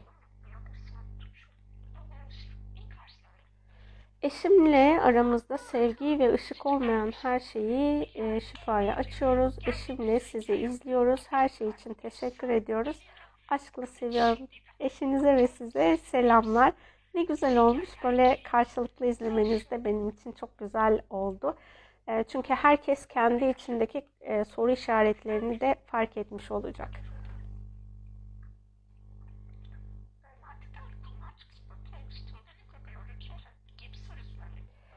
Yasemin Hanım bir sayfada iki gün önce şöyle bir paylaşım gördüm. İlk eşimiz eski hayattaki düşmanımızmış. Böyle bir şeyin doğruluğu var mı? Ben öyle genelleme yapmıyorum. Ee, bir şeylerle ilgili genelleme yaptığımızda gerçekten kendimizi sıkıştırıyoruz. Ee, varoluş gerçekten çok çeşitli, çok e, değişik, çok güzel, çok muazzam. Yani bütün herkes de aynı program işlemiyor. Şu an şöyle düşünelim. Dünyadaki dünyadaki insanları göremeyiz tabii ki. Şu an çevrenizdeki insanları bir gözlemleyin. Herke hani anneniz, babanız, kardeşiniz de dahil sizinle aynı kişilik özelliklerinde mi? Değil. Her birimiz özeliz. Her birimiz özel olduğumuz için her birimizin de kendine özgü ruhsal programları var. Onun için hani hepimiz kendi programımızı yaşıyoruz. Ee, yaratıcı bu kadar tek düze değil. Yaratılış bu kadar tek düze değil. Eğer yaratılış bu kadar tek düze olmuş olsaydı bütün doğan insanlar annesinin babasının birebir kopyası olurdu. Öyle miyiz? Değiliz. Ya da işte bütün kardeşler cinsiyetleri ayrı olurdu ama aynı görüntüde olurdu. Niye? 23 kromozom anneden alıyor, 23 kromozom babadan alıyor. Aynı kromozomlar eşleşir, aynı çocuklar doğardı. Ama yani e, biyolojide de böyle çeşitlilik var. Çünkü e, güçlendirmeye çalışıyor. Varoluş da aynı bu şekilde işliyor. O yüzden hani böyle bir genellemeyi benim bana aktarılan bilgiler doğrultusunda böyle bir genelleme doğru değil. Ama nereden nasıl bilgi aldılar, neye göre yaptılar böyle bir genellemeyi onu da bilemeyeceğim. Ben size bir de daha önce bunun okumasını yaptım ama bir kere daha okumak istedim. Ee, yazmış olduğum bir yazı vardı. Bu ruh eşi kavramı falan da oluyor ya hani evlilik içerisinde. Burada da çok karışık bir alan bu. Ruhsal bağlantılarımız ve beşeri aşk diye. Ben oradaki bilgileri gerçekten zihinsel düzeyde bilmiyorum. Her seferinde açıp açıp okuyorum. Ee, onun için bu yayında da tekrar bir daha okuyacağım. Aa, az önce cinsellik alanını konuştuk ya. E, iki tane cinsellikle ilgili ben çalışma kaydetmiştim. Subliminal kayıtlar bunlar. Onları da bulayım hemen. Onları da söyleyeyim size. İki tane dedim ama doğru dedim değil mi? Ee, bir tanesi subliminal koşulsuz sevgi enerjisiyle cinsel birlikteliğin saflaştırılması. Diğeri de subliminal yaşanmış cinsel birlikteliklerin saflaştırılması çalışması. İkisi birbirinden farklı enerjiler. Ee, olumlamaların kaydını da ses kaydı olarak açıklamalar bölümüne ekledim. Merak ediyorsanız oradan okuyabilirsiniz. Evet ben şimdi ay, okuyabilirsiniz değil yanlış oldu pardon çok özür dilerim. Onlar ses kaydı çünkü olumlamalar da ses kaydı olarak e, ses kaydını dinleyebilirsiniz. Şimdi ben size ruhsal bağlantılarımız ve beşeri aşk yazısını tekrar okuyorum. İlişkilerle ilgili olarak herkesin sık sık kullandığı ruh yaşamı arıyorum kavramı çok fazla kullanılıyor. Bu kavram tam olarak bilinmediği için insanlar yaşanması gereken aşkı olup olmadığından bile habersiz bir potansiyel nedeniyle reddediyor. Ruh eşi kavramı. Bazı ruhlar hem kaos hem de aşk boyutunu deneyimlemeyi seçiyorlar. Enerji bedenden madde yoğunluk bedenine geçmeden ruh kendini iki ya da daha fazla parçaya ayırıyor. Bu parçalar ruh eşi olarak tanımlanabilir. Burada ruh kendini geliştirmek için her bir ruh eşi kaos ya da aşk boyutunda kendi tekamül yolculuğuna başlıyor. Bu ruhlar birbirleriyle dünyasal planda rüya boyutunda perdesiz yaşam deneyimlerinde telepatik olarak birbirleriyle iletişime geçerek ruhsal tekamüllerini her şeyi deneyimlemeden zenginleştiriyorlar. Aynı boyutta bulundukları dönem ruhsal olarak görevli olduğu dönemlerde ya da kaos boyutunda kaybolmuş ruh eşine aşk boyutundaki ruh eşinin tekamülünü hatırlatması için bir araya gelinebiliyor. Dünyasal olarak beşeri aşk açısından bakarsak bu konuya, kaos boyutundaki ruh eşi, kaosun her türlü olumsuz deneyimini kişiliğine ya da yaşamına dahil ettiği için karşı tarafın ayaklarını yerden kesebilecek bir enerji gücüne sahip değil. Aşk boyutundaki ruh eşi de kendi tekamülünde kendini yeterli olgunluğa eriştirememişse o zaman kaos boyutundaki ruh eşinde kendi eksikliklerini de çok fazla görecek. Burada üçüncü boyut gerçekliği içinde var olunduğu için bunları hatırlamıyor olacak ve bu ilişki kişinin daha çok acı çekmesine ve karmaşaya düşmesine neden olacak. Ruh ailesi. Ruh madde bedende var olduğunda varoluşta kendini yalnız hissetmemesi için ayrılığın daha çok birliktelik haliyle deneyimleneceği 144 ruhun bir arada olduğu topluluğu ruh ailesi olarak tanımlayabiliriz. Madde beden, eterik ve katı maddeyi içeren her türlü bedensel form. Işık, ışık bedenler de madde beden kavramı içinde. Dünya boyutunda ruh ailesi bireyi ile karşılaşmayı ruh şu plan için potansiyele dahil ediyor. Bu yaşamı kendine sıçrama yaşamı olarak tanımladıysa, tekamülü yavaş yavaş gerçekleştirmek yerine birkaç yaşamın yaşam derslerini bu yaşamda vermeyi planladıysa o zaman bu yaşamı programlıyor. Ruh ailesindeki birey bu kişiye kendi varoluş gücünü hatırlatıp onu ruhsal ve dünyasal olarak desteklemek için bir araya gelinmiş oluyor. Bu yaşamda bu kişiler karşı cinsten ve yakın yaş dönemi içindeyse ruhsal yakınlıktan dolayı yoğun sevgiyi aşk ile karıştırabiliyor ve o kişiye aşık olduğunu sanabiliyor. Burada ruhun planına aşk birlikteliği uygun bir plan olmadığı için kişiler ilişkiye başlamış olsalar bile sürekli ilişki içinde uyumsuzluklar, uzaklaşmalar ortaya çıkıyor. Burada karıştırılıp ruh eşi diye tanımlanıp yine aşkta mutluluk yerine acı ve hayal kırıklıklarını deneyimletecek bir ilişkiye dönüşüyor. İkiz alev, ruh daha alt boyutlarda tekamül etmeyi planladığında kendi yaşam derslerini tamamlamış olgun bir ruh ile bir araya gelip bu ruhun deneyimlerini enerjisel boyutta içselleştiriyor. Burada her iki ruh birlikte yeni bir ışık potansiyeli boyutunun yaratımına katkı sağlıyorlar. Her bir parça kendi tekamülünde gerçekleştirdiği ışık bilgeliğini kendi yaratımında katkıda bulundukları boyuta aktarıyor. Dünyasal olarak bir araya geldikleri süreç sadece dünya insanının tekamülünü hızlandırmak için bir araya gelen olgun ruhlar olmuş oluyorlar. Bu durumda beşeri aşk ile karıştırılması söz konusu olmuyor. İkiz ruh herhangi bir formda bir araya gelmeden ruhlar aynı varoluş derslerini seçerek kendilerine tekamül planı oluşturabiliyorlar. Birbirleriyle karşılaşmamış bu ruhları da ikiz ruh olarak tanımlayabiliriz. İkiz ruhlar eğer ruhsal planlarındaki zorlu yaşamların herhangi birinde dünyada bir araya geldiyse o zaman yine her ikisi için de zorluklar oluşabiliyor. Bu karşılaşma sabır ve sadakatle yaşanabilecek bir beşeri aşk potansiyelini içinde barındırıyor. Ruh aynası Dünya boyutunda var olan ve aşk boyutunu kişinin en berrak gördüğü kişidir. Aşk boyutundaki her şeyin görüldüğü ve aşkın enerjisel gücünün kişiye aktığı ruh partneri.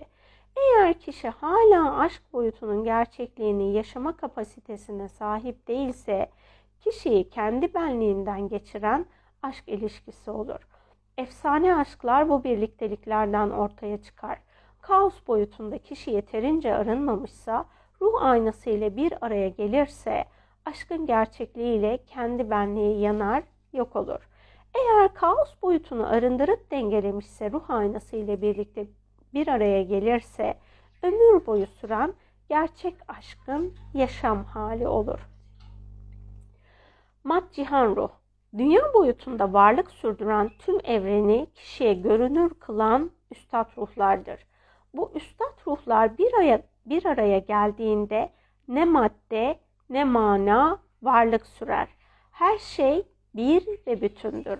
Ayrılık ortadan kalkar, birlik hissiyle her şey görünür olur. Dünya boyutunda her ruhun madcihan ruhu aynı dönemde dünyada bulunur. Fiziksel olarak birbirlerine yakın değillerdir. Çok güçlü arzularla her zerresi birbirine çağrı yapan ruhlar bir araya gelebilir. Bu ruhlar birbirlerine beşeri aşkın ötesindeki birlik aşkını yaşatırlar. Eş ruh birçok enkarnasyonu bir arada geçiren ve birbirlerine her zaman destek olan ruhlardır. Dünya boyutunda en olası aşk parçalarıdır. Genelde o kadar masumane bir sevgi vardır ki aralarında bu sevgi aşka yorulmaz. Beşeri aşk insanın ellerinden kayıp gider çoğu zaman. Bu ruhlar birbirlerini her zaman korurlar, uzun yaşam dönemlerinde bir arada olurlar.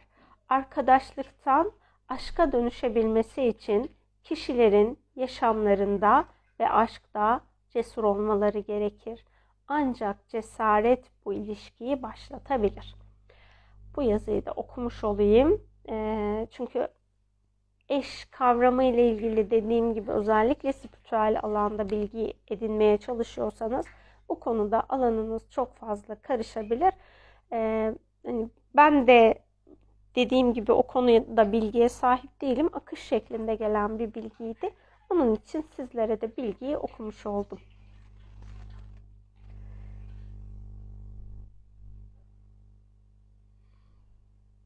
Bakın şu bağ koparma kelimesini Allah aşkına beni takip edenler kullanmayın artık. Bağ koparma diye yaparsanız o ilişkiyi siz şifalandıramazsınız ve ondan özgürleşemezsiniz. Bağ şifalandırma yapmanız gerekiyor yapacağınız çalışmalarda. Yani hani bağ koparmayı takip ve illaki ona tutunmak istiyorsanız onu anlatan kişilerin lütfen alanında bulunun. Onların size aktaracağı bilgileri alın. Ben bağ koparma diye bir şeyden bahsetmiyorum. Bağ koparıldığı zaman hiçbir zaman için o durum şifalanmamış oluyor. Şifalanmayan durum da sizin hayatınıza geri dönüyor. Yapacağınız şey sizin bağ şifalandırma yapmaktır. Yasemin Hanım evlilik ilişkisinde psikolojik ve fiziksel şiddet ve ölesiye şiddet varsa, aldatma varsa bu benim yaşam yansımam mıdır? Bu ilişki bitmeli mi yoksa dönüştürmek mümkün mü? Gerçek e, çözümü arıyorum. E, şimdi konuşmanın ilk başında bunu ifade ettim. Ben bugünkü yaptığım konuşmada aşırı şiddetin olduğu, destek alınması gereken alanlarla ilgili bilgi aktarımı yapmayacağım. Çünkü orası bireysel olarak özel ilgilenilmesi gereken bir alan ve bunu da e, ya aile terapistiyle görüşün ya da bir avukatla, arabulucularla görüşebilirsiniz. Yani bu benim e, yetkin olduğum bir alan değil. O yüzden de sorunuzu böyle cevaplamış olayım.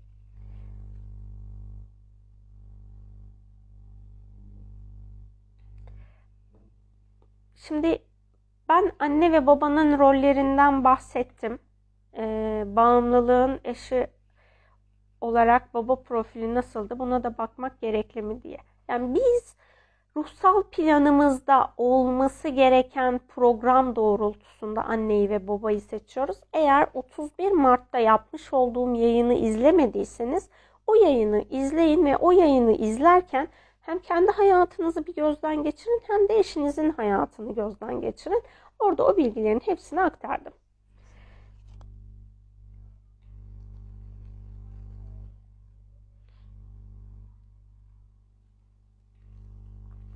Az önce sorduğunuz soruyu cevapladım.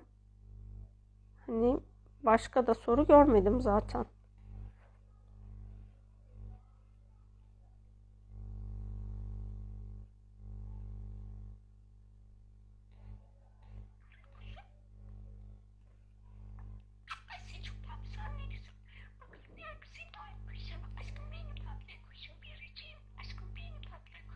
Başka sormak istediğiniz soru var mı?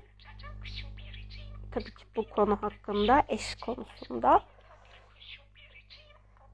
Ee, hani evli olmayanlar için de bu konu, bu burada anlattıklarımı dinlemiş olursanız şu an fıstık konuşmaya başladı. Ama seni dinleyelim mi fıstık? ee, gerçekten aşkım diyebileceğiniz hayatıma ne güzel anlam kattın diyebileceğiniz e, insanı yaşam alanınıza davet edin, dahil edin. Yoksa sizin için o insanın davranışları eziyete dönüşür. Şimdi fıstığı ben açık bırakıyorum. İşte hani böyle gördüğünüz gibi. Fıstık açık olduğu için kakasını her yere yapıyor. Bazen işte ağzında e, yem oluyor, yemin kabukları oluyor. Uçarken onlar savruluyor. Ben her gün ev süpürüyorum. Bir de aynaya kusuyor. Aynaya kusmasında gittim sordum veterinere mutluluktanmış. Dedim ki çıkarken ha dedim fıstık bayağı mutluymuş demek ki. Günlük bir de ayna temizliğimiz oluyor bizim. Şimdi e, fıstık benim hayatıma gelmeden önce böyle biri benim hayatıma eş olarak gelseydi gerçekten onunla her gün kavga ederdim. Ama fıstık hani böyle ben satın almadım, sahiplenmedim ya da işte biri bana hediye etmedi. Uçup balkona kondu. Ondan sonra gitmediği için bizim evimize dahil oldu. Dedim ki hani Yasemin bu deneyimi öğrenmen için Allah sana gönderdi bunu. O yüzden burada çatışmaman gerekiyor. Ama dediğim gibi ben bu davranışı yapan biriyle evlenmiş olsaydım kavga ederdim. Sen ne pis insansın, hiç kendine bakmıyorsun, hiç şunu yapmıyorsun, hiç bunu yapmıyorsun. Her şeyi ben yapıyorum diye fıstığın evi süpürebilme gibi bir durumu var mı? Yok.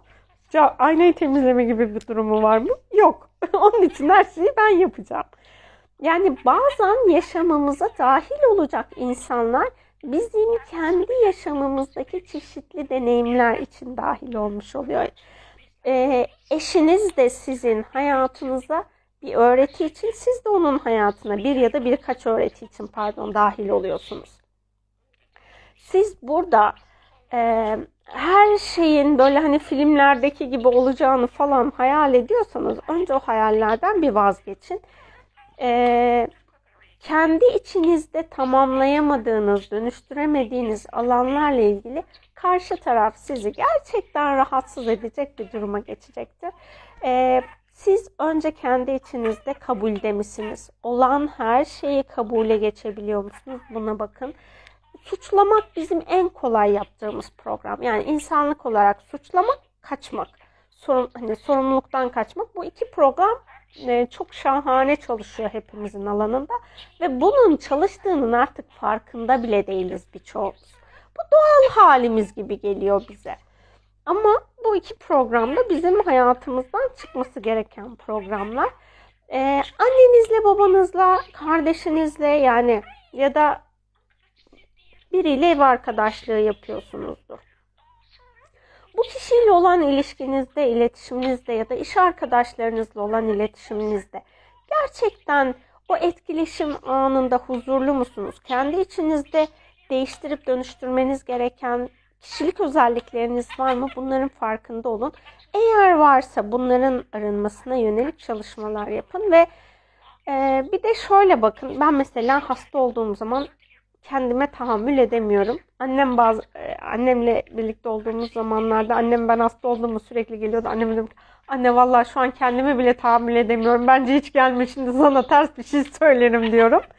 Ee, hani kendimizi tanıdığımız zaman bu kendi bulunduğumuz ortamda hangi tepkiyi vereceğimizi biliyoruz.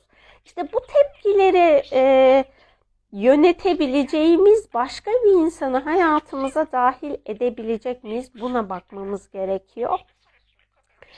E, toplumun genel olarak belirlediği bir çerçeve var. İşte bir insan doğar, büyür.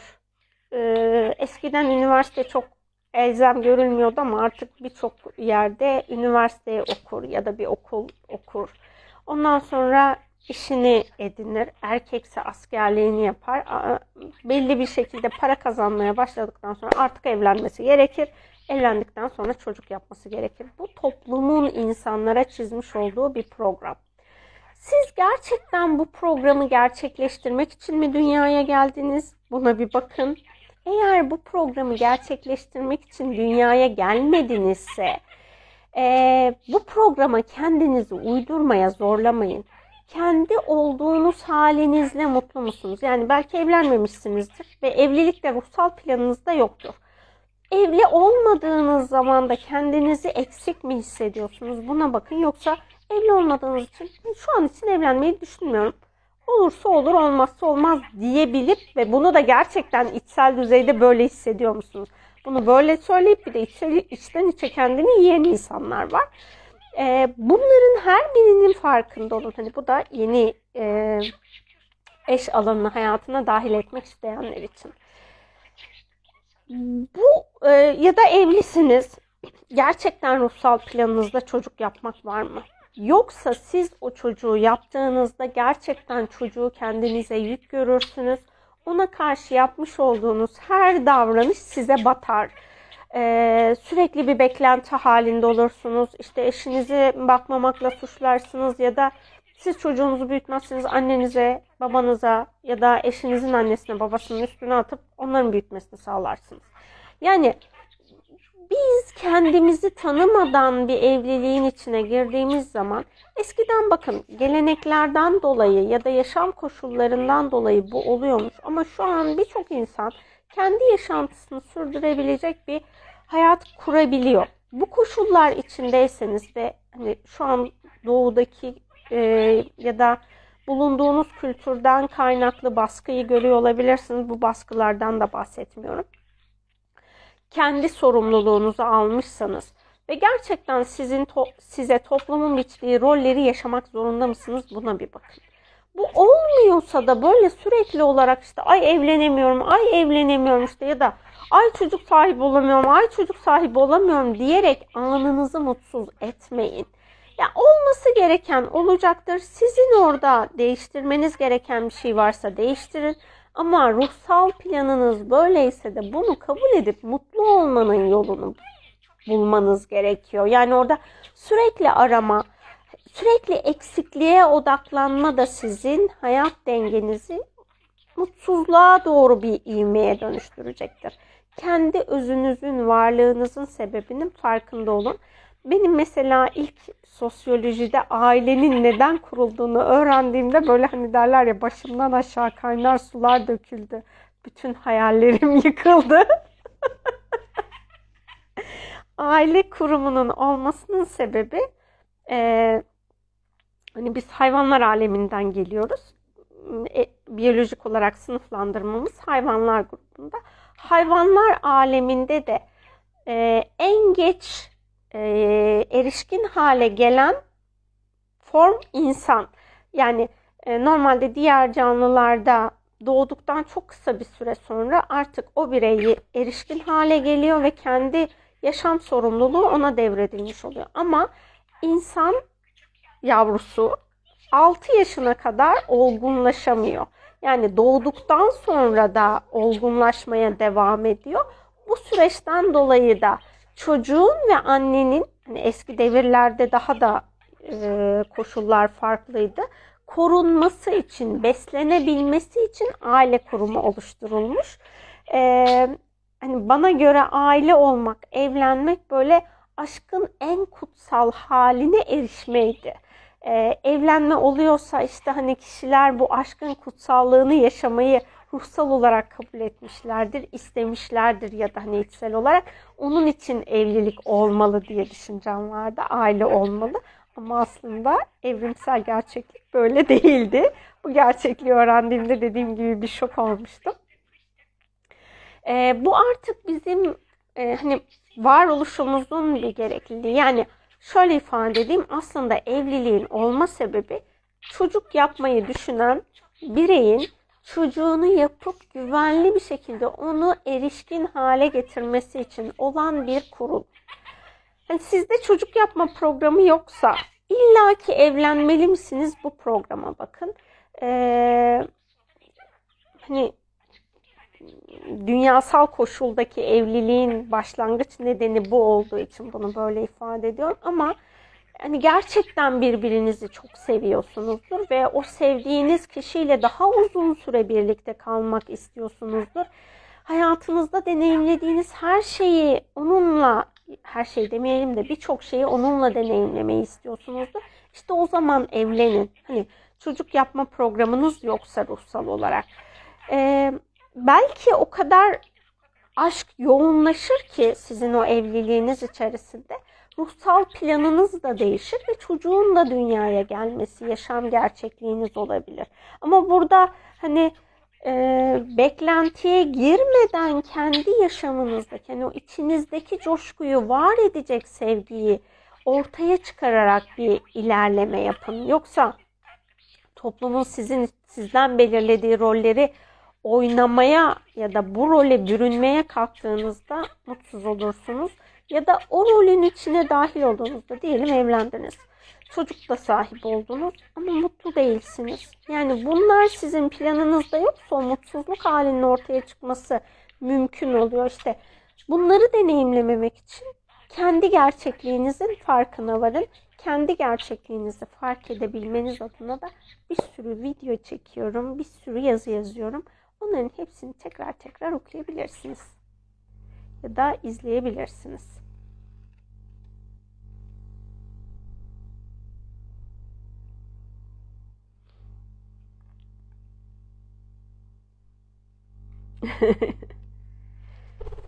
evet fıstık artık sohbetini tamamladı. Aramızdan ayrıldı. Sizin onaylarınızı bekliyormuş. Ne güzel konuşuyor. Fıstık demenizi bekliyormuş. O yüzden bu e, sözü ben okudum hemen aklımdan aldı bilgi uçtu gitti. E, ben dinliyorum gözlerimi kalbimi açtım buradayım demişsin. Teşekkür ediyorum Duygu. E, Yasemin Hanım merhabalar. Ruhsal rehberler genellikle bekar oluyor. Bunun enerjisel olarak bir anlamı var mı? Yani enerjisel bir sebep var mı? Bence yok.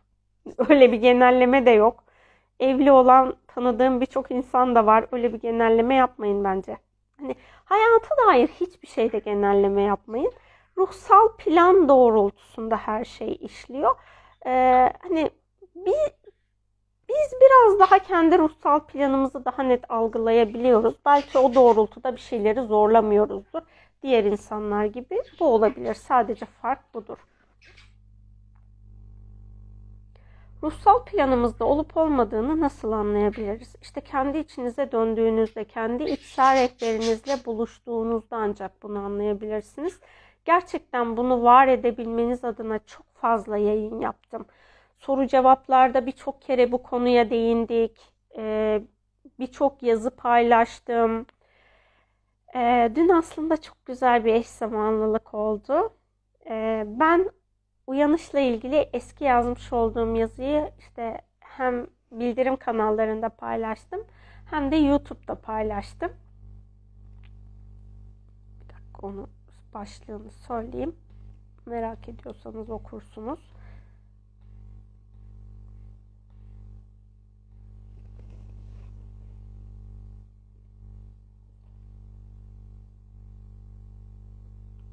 O kadar çok sayfa açıyorum ki neyi nereden açtığımı artık karıştırıyorum. Uyanış ve sonrası diye bir yazı paylaştım. Ee, hani bizim uyanışımızı gerçekleştirmemiz gerekiyor ve o sonrasındaki süreçte de artık içsel rehberimizi bulmayla ilgili e, kendimize dönmemiz gerekiyor. Bu yazıyı paylaştıktan sonra akşam e, Instagram'da bir canlı yayın izledim. Orada Erkan Güler Yüz'ün Uyanış e, şarkısından bahsediliyor. Uyanış mıydı? Uyandı galiba. Uyan. Uyan şarkısının e, daha önceden Ramazan'da Ramazan başında e, videosunu yüklemişler ama klip çekilmemiş. Dün de klip lansmanı yapılıyordu bir başka e, Instagram profilinde. Yani onu izledim. O kadar güzel bir eş zamanlılıktı ki ve o şarkının sözleri böyle ay yazdığım ya da bu zamana kadar anlattığım her şeyi ne güzel özetliyor ya falan deyip hani saatlerce dinledim. Gerçekten o kadar güzel bir e, enerjiyle yazılmış. O kadar güzel bir bilgelikle yazılmış. E, orada işte de e, katman katman olduğundan bahsediyor. Hakikaten şarkı da çok katmanlı.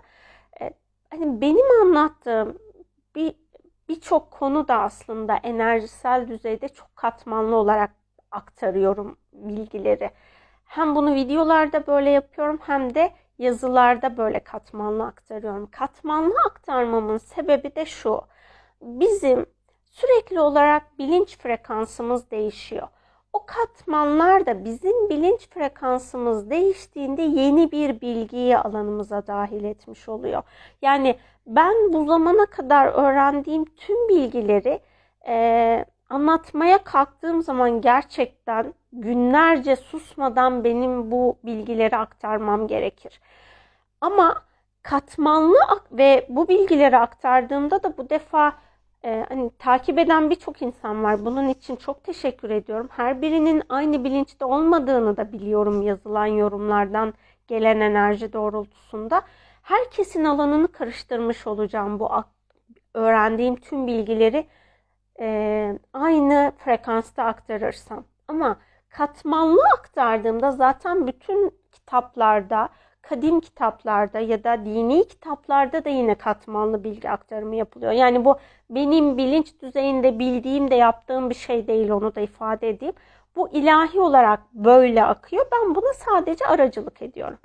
O yüzden bu aktarımın böyle olması da sizin hani o videoyu izlediyseniz de o yazıyı okuduysanız da ona bir geri dönüp bakmanız gerekiyor. Benim bu anlattıklarımı hala içinizde var edemediyseniz demek ki orada üstünlüğü örttüğünüz ya da görmezden geldiğiniz e, veya alanınızda olan bilinçlerden dolayı anlayamadığınız programlar, bilgiler vardır. O yüzden anlayamıyorsunuzdur. Yani ben mesela şeyde ilk e, Cesur Ruhlar kitabını okuduğumda o kitabın e, o kitaptaki akışa böyle hayran kalmıştım. Çünkü orası doğum öncesi planları anlatıyor.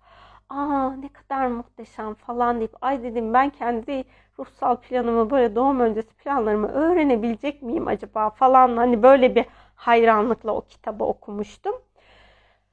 Ee, bir şeyi hakikaten saf niyetle istediğiniz zaman bu sizin hayatınıza dahil oluyor. Bakın benim ruhsal yetim falan böyle önceden açık falan değildi. Ben 30 yaşından sonra birçok şeyi öğrenmeye, açığa çıkarmaya başladım. Yani 12,5 yıllık bir yolculuktan bahsediyoruz.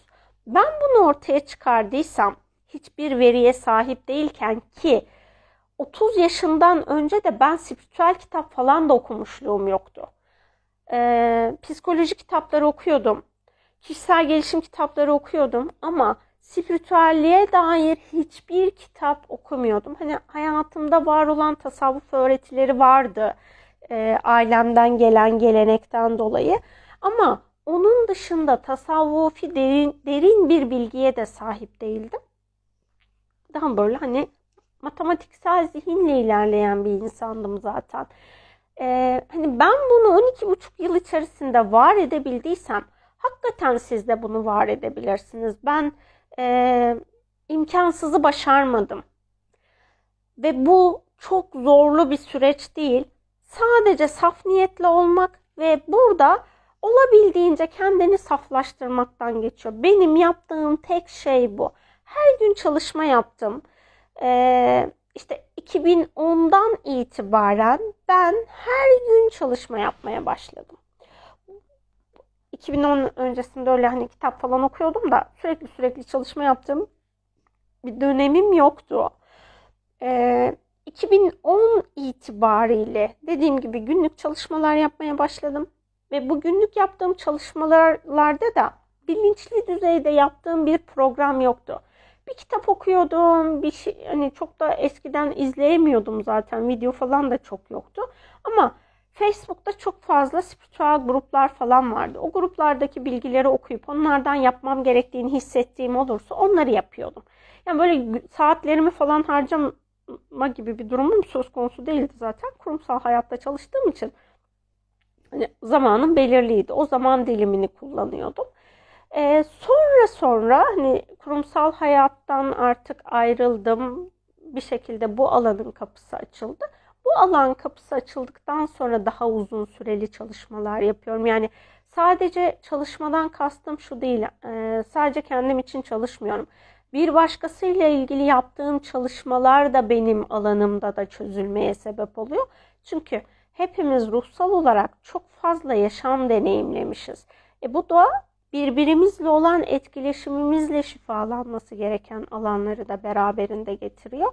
Onun için hani böyle konuşmak da beni şifalandırıyor. Sizi şifalandırdığı gibi. Yazmak da beni şifalandırıyor. E, meditasyon kaydetmek de beni şifalandırıyor. Sonra o kaydettiğim meditasyonları dinlemek de beni şifalandırıyor. O yüzden e, hani yapacağınız tek şey niyetiniz saf mı değil mi buna bakın. Eğer saf değilse niyetinizi saflaştırın. Yani ben bu yolculukta birçok insanla tanıştım ve birçok insanın farklı farklı yetenekleri oldu. Hiç kıskanmadım o yeteneği olanlara. Ay ne güzel dedim sadece. Hani o ay ne güzel deme hali benim kendi içimde çağrı yapmama sebep oldu. Eğer ilahi olarak uygunsa tabii ki o zamanlar bu cümleleri kurmayı bilmiyorum. Sadece ay ne güzelmiş ben de yapabilecek miyim acaba'yı soruyordum kendi içimde. Ama orada dediğim gibi kıskançlık olmadığı için bunlar hani saf niyetten kastım bu. Bir kıskançlık varsa e, hazmedememe durumu varsa o zaman bunlar saf niyeti var etmiyor. Ama bu duygular ay o onu ne kadar güzel yapıyor, ne kadar harika yapıyor. Acaba ben de bir gün yapabilir miyim? Bu benim planımda da var mı? Böyle bir soruyla varsa bu açığa çıkıyor ve kendi kendine hani bir şekilde hayatınıza birçok insan dahil oluyor, birçok öğreti dahil oluyor, birçok eğitim dahil oluyor ya da bir workshop oluyor. Benim mesela e, natural fuarları yıllarca hep gittim ve o fuarlardaki her her seminere tabii ki katılmam mümkün değildi. Ee, birkaç salonda seminerler oluyordu. Ücretli ya da ücretsiz her neyse onlardan birçoğuna katıldım. O katılmış olduğum her yerden bana gelen bilgiler işte e, Facebook'taki gruplarda yapılan paylaşımlardan gelen bilgiler, okuduğum kitaplardan benim yolculuğum gerçekten çok çeşitliydi ve çok da güzeldi. Önceleri şey vardı çok alanımda mesela hani o insanlarla tanışıyorsam o insanlar yaşam alanımda bulunsun. Hep bunu çok istiyordum. Ayrıldığımız zaman çok üzülüyordum. Sonra oradaki e, ilahi planı fark ettim. Benim frekansım için beni yükseltecek ya da bana bir anahtar verecek kişi yaşam alanıma dahil oluyor. Ben orada kendi yolculuğumu tamamlayıncaya kadar, dengeye gelinceye kadar, öğreninceye kadar benimle birlikte oluyordu. Ondan sonra yola ayrılıyordu. E dediğim gibi önceleri bu benim için çok üzücüydü. Ama sonradan alıştım. Ben de aynı şekilde sizlerin hayatına bu şekilde dahil oluyorum. Onun farkındayım. Ama e, sizlerdeki de hani artık birlikte çalışmamamız gerekiyor dediğim durumlarda hissettiğinizi daha önce ben de hissettim. Ama bu bizim gelişimimiz için gerekli. İnanın buna gerçekten sizi çok geliştiriyor o ayrılıklar. Ee, yeri geliyor frekansımız aşırı yükseldiğinde ruhsal rehberlerimiz de değişiyor. O ruhsal rehberlerin değişme süreci de çok böyle insanın kendini yalnız hissetmesi gibi olabiliyor. Ama o, o da bizim gelişimimiz için gerekli. O yüzden hani o bağlılığa e, bağlılık olmadan birlikte yol almayı e, yaşam yolculuğunuza dahil ettiğinizde bu sadece ruhsallık alanında değil. Bakın hayatınızdaki her insan için yani evliliklerde belki ömür boyu olmayacak.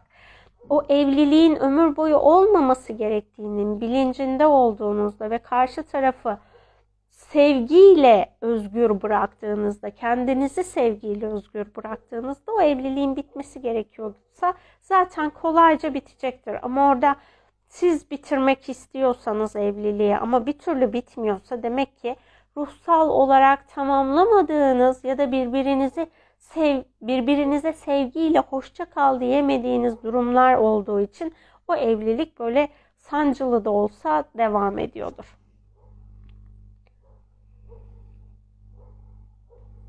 İyi akşamlar diliyorum. Çıkmam gerekiyor demişsiniz. Hoşçakalın efendim. Fıstık aşk konusunu çok güzel anlatıyor. Böyle aşkım diyor bir tanem diyor. Ay ne güzelsin diyor. Aşk mısın sen diyor. Tabii ki bunların hepsini ben ona önceden söylediğim için söylüyor. Ama o ilk geldiğinde de aşkım kelimesini kullanıyordu. İlk bize geldiğinde iki kelime biliyordu. Aşkım ve Enes. Ee, hani Enes kim bulamadık.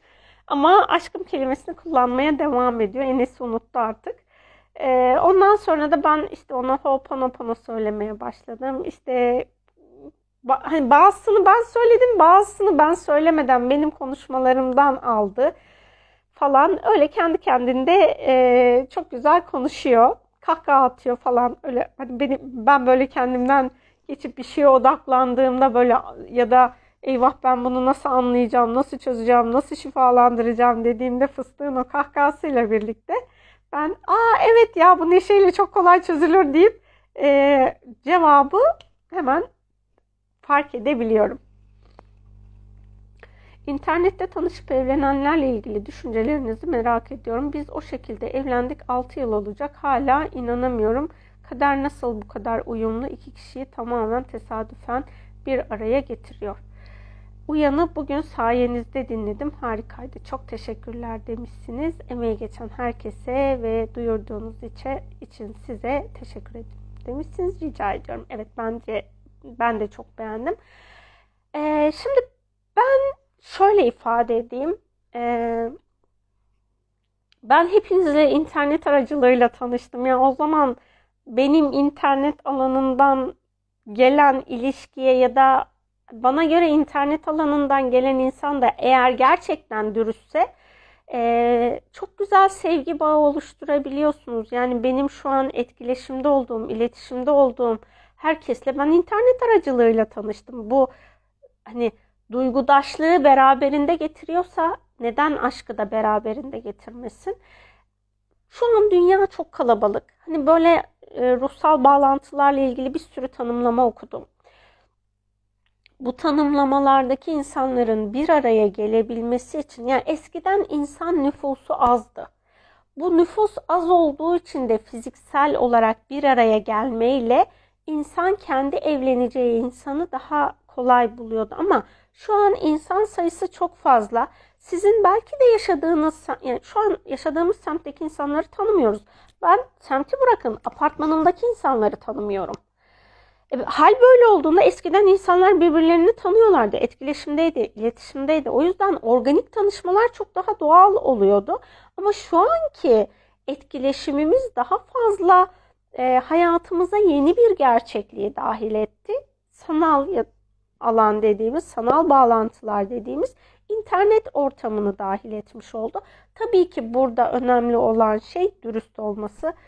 Allah'ım o Facebook ilk çıktığı zamanlar neydi ya Rabbim hatta hatta hala da var ama Allah'a çok şükür azalmış durumda.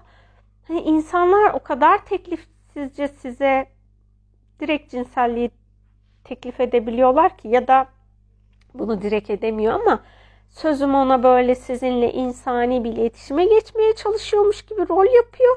Ondan sonra aslında niyetin cinsellik olduğu açığa çıkıyor falan. Hani o onlar da var. Hala da var olduğunu düşünüyorum ben. Hani ben birçok yerden mesajlaşmayı kapattığım için artık onu deneyimlemiyorum ama önceden hani gerçekten böyle şok olabileceğim kadar böyle bir etkileşim, iletişim oluyordu. Ve enerji hani orada yazılanın ötesinde niyetin hani niyetin ne olduğunu hissediyorum zaten. O niyet doğrultusunda gelen şeylerde tahammül sınırım zorlanıyor. Yani direkt yani hepimiz aslında bu tarz iletişimle e, tacize uğramış durumdayız. Yani hepimiz taciz deneyimini yaşadık. E, hatta birinde biri hani böyle cinsiyetsiz isimler var ya o cinsiyetsiz isimlerden dolayı olan biri de yazmıştı. Yani bu isimden dolayı bana dahi hani e, teklif ediliyor kadınların durumunu düşünemiyorum diye böyle bir e, kadına saygı gösteren bir erkekten böyle bir paylaşım okumuştum.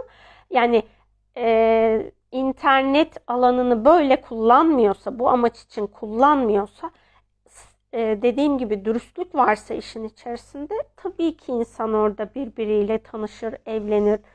Hani bence artık bu hayatımızın bir parçası haline geldi ve utanılması, ayıplanılması, kaçınılması gereken bir durum değil. Hani şu an yaşam alanımızın bir parçası. O yüzden e, hani eğer bu konuya bakış açısı olan insanlar varsa bu yayında ya da bundan sonra yayını izleyecekler o alanında şifalanmasına niyet edebilirsiniz. Çünkü o mesajı yazan da bir insan. Yani e, bootlar, boot denilen şeyler var. Ne olduğunu tam bilmiyorum ama böyle otomatik programlama yapıyorlar. Öyle programlardan yazılan falan değil. Ya da ben Her diye bir tane film izlemiştim. O Her'de bir yapay zeka ee, işte insanlar yalnızlık çekiyor. O yapay zekayı satın alıyorlar.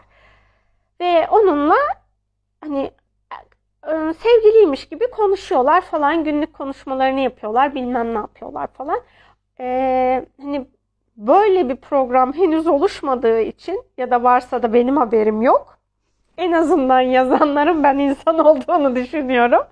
Ee, insanla yazıştığınız için bu da iletişim yollarından bir tanesi. Eskiden insanlar şey hani hani şu anda da belki oluyordur da düğün falan da çok yok ya.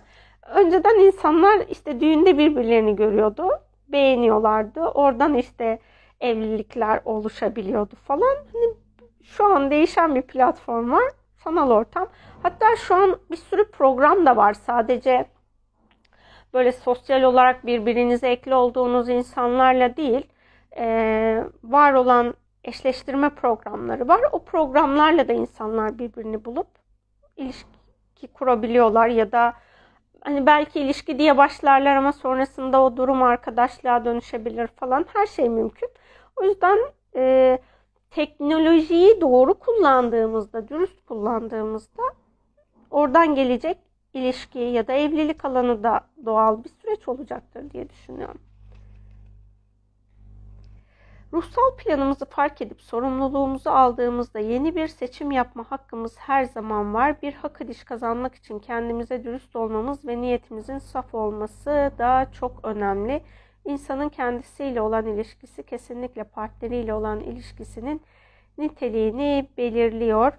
E, deneyimlemek istediğimiz ilişkiyi önce kendimizde açığa çıkarmalıyız diye düşünüyorum. O kadar güzel yazılarım, videolarım var ki hepsi yol gösterici bize.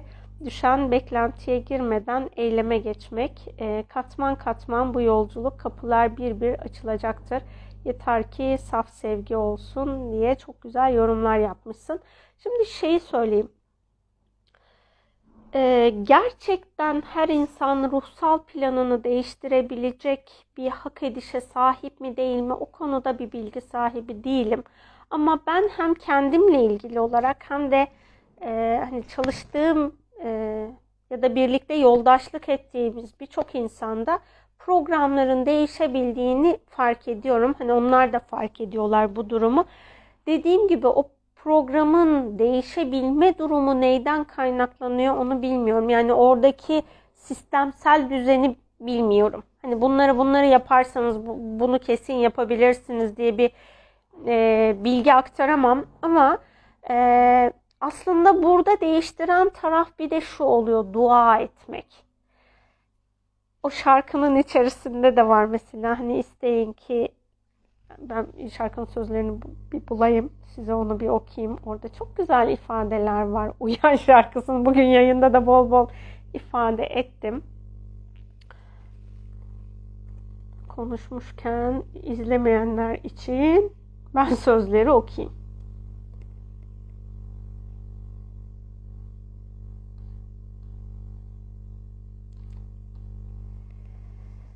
Zerre külde, kül zerrede gizlenmişler iç içe. İnsan alem aynasıdır, melekler bile secdede.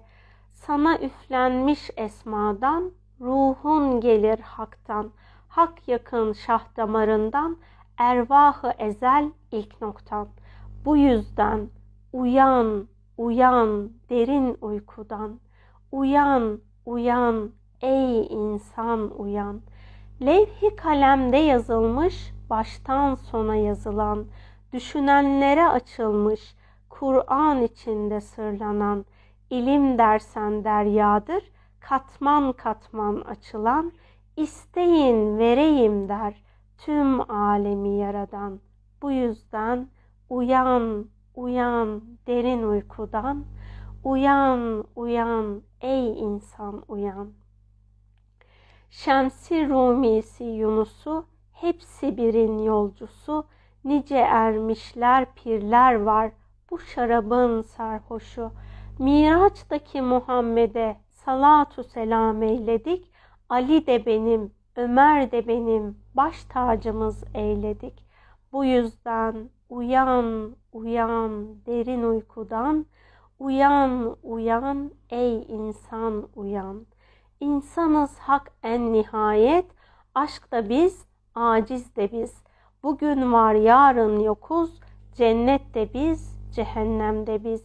La ilahe illallah der, anahtarız, kapılar da biz. Allahu Ekber, Bismillah, açmasını bilirsek biz. Bu yüzden uyan, uyan derin uykudan, uyan, uyan ey insan uyan. İşte hani burada isteyin vereyim der tüm alemi yaradan demiş ya. O kısımla birlikte biz belki de planımızı değiştiriyoruz. Yani Allah'a dua etmek çok büyük bir erdem ve anahtar.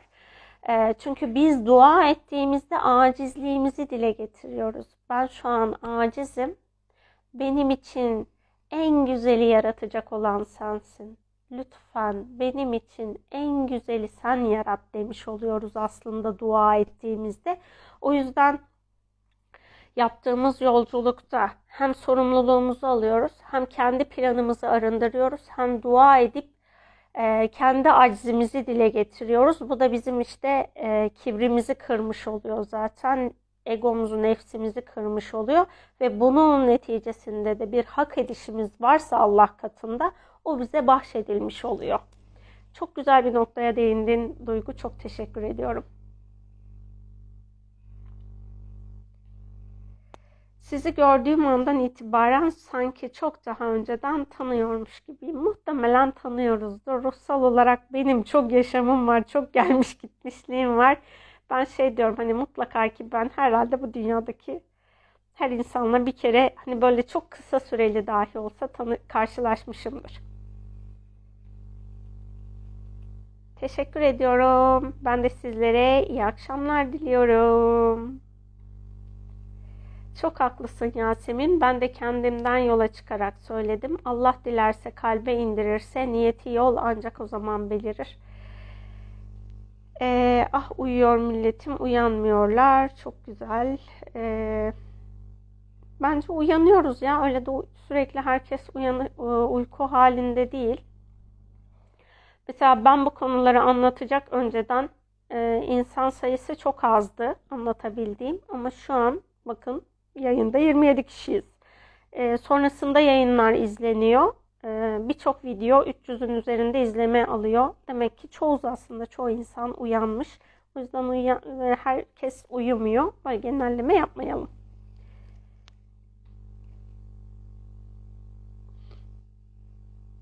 Tabii ki Allah'tan başka bir şey yok. Her şey sadece ve sadece Allah'ın tecellisi. Hepimiz ondan geldik, ona gideceğiz inşallah. Karşısına çıktığımızda razı olduğu kullardan olmuş oluruz inşallah. Eğer başka yorumlarınız yoksa ben bu güzel yayın için hepinize çok teşekkür ediyorum hem eş alanını şifalandırdık, hem yaratılış anımızı şifalandırdık, anladık, anlayıp hani anlamanın kapıları açıldı bize öyle ifade edeyim. Hepinize benimle birlikte olduğunuz için çok teşekkür ediyorum. Ee, hakikaten akışa bırakmak çok güzel bir şey. Hani hiç bunları anlatacağıma dair bir düşünce yoktu.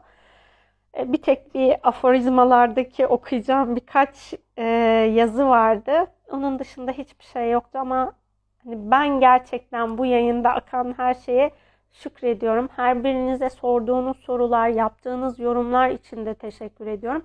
Çünkü sizin yapmış olduğunuz o yorumlar e, benim bir şeyleri hatırlayıp onları size aktarmama aracılık etti. Şöyle bir niyet edelim isterseniz. E, yayın biterken evli olanlar ya da işte evlenmek isteyenler, henüz evlenmemiş olanlar için kalplerimiz saflaşsın. Allah'ın bizde görmeyi beklediği saf gerçekliğimizi, yaşam gerçekliğimizi yapalım. Şu an evli olanlar eşleriyle ilahi olarak hak ettikleri en saf aşk gerçekliğiyle evliliklerini sürdürsünler eğer yaşamlarında evliliği yaşamlarına dahil etmek isteyenler varsa ve ilahi olarak bunun önünde engeller varsa bu engelleri güzel yaradanımız kolayca o kişi sorumluluğunu aldığı sürece arındırsın, temizlesin, her şey aşk olsun. Hakikaten aşk çok güzel, çok saf bir şey. Zaten aşkın saflığını kişi idrak ettiğinde evlilik yaptığı zaman ya da bir ilişki yaşadığı zaman o insana da safsızlık dahil edemiyor. Yani öfke, kızgınlık, kıskançlık, kibir bu tarz duygularla bağlantılı, bu tarz enerjilerle bağlantılı davranışları da ne kendine yapabiliyor ne karşı tarafa yapabiliyor. Çünkü aşkı safsızlaştırmak istemiyor. Bu yapmış olacağımız her şey aşkın safsızlaşmasına sebep olacak. Ama aşk o kadar saf, o kadar kutsal, o kadar hani mükemmel, mucize bir şey ki o mucizemize sahip çıkalım ve hayatımızın her anında saf aşkla yaşayalım. Saf aşkın bilgeliği inşallah yaşamımızda hepimizin dahil olur. Her an o aşk gerçekliği, aşk bilgeliğiyle eylemde oluruz, nefes alır veririz, konuşuruz inşallah.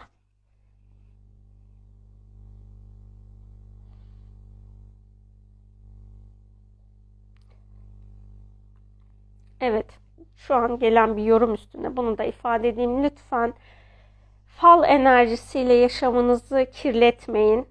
Pozitif olmayan bir alan, o alanın hayatınızı karmaşık, kaotik hale getirmesine izin vermeyin. Aşkın kutsallığı sizin rehberiniz olsun. O sizin hayatınızdaki her şeyi en güzel hale dönüştürür.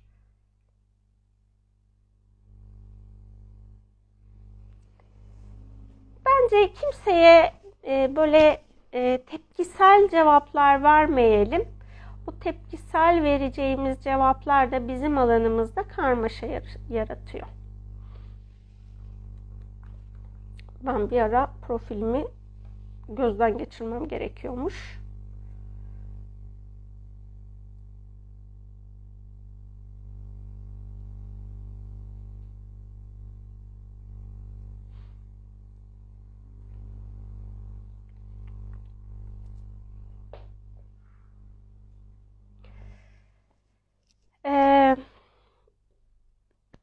Hepimiz ben bugün kendi içimde bu yorumla birlikte e, profilimde beni takip eden, etkileşimde olduğum insanları bir görmem gerektiğini, bir fark etmem gerektiğini göstermiş oldu.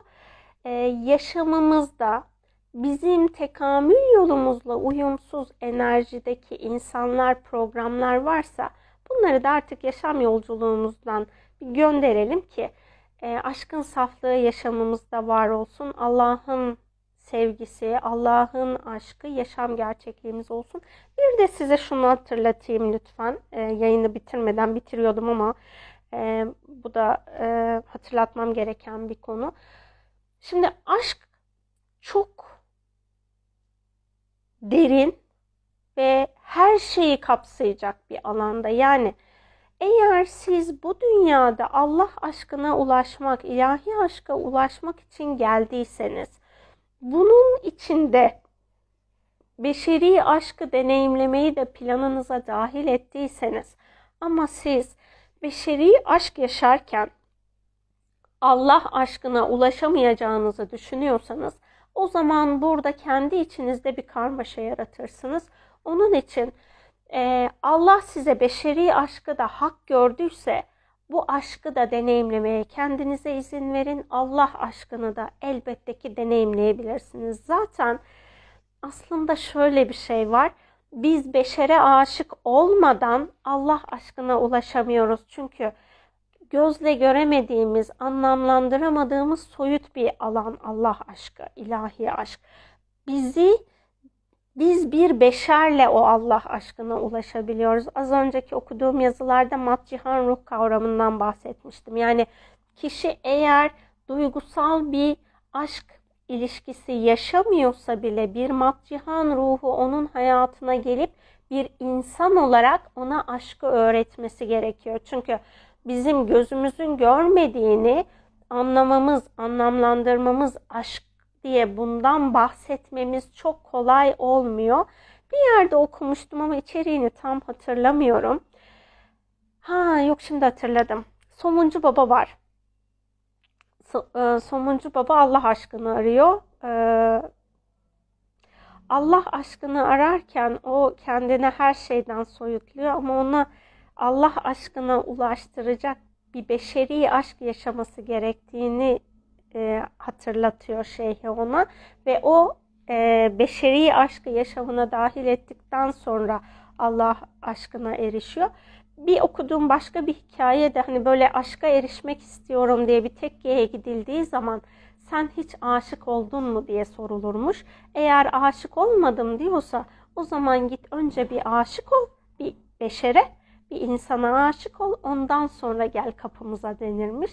O yüzden bizim Allah aşkına erişebilmemiz için de beşer aşkına ihtiyacımız var. Çünkü o ilk basamağımız olmuş oluyor.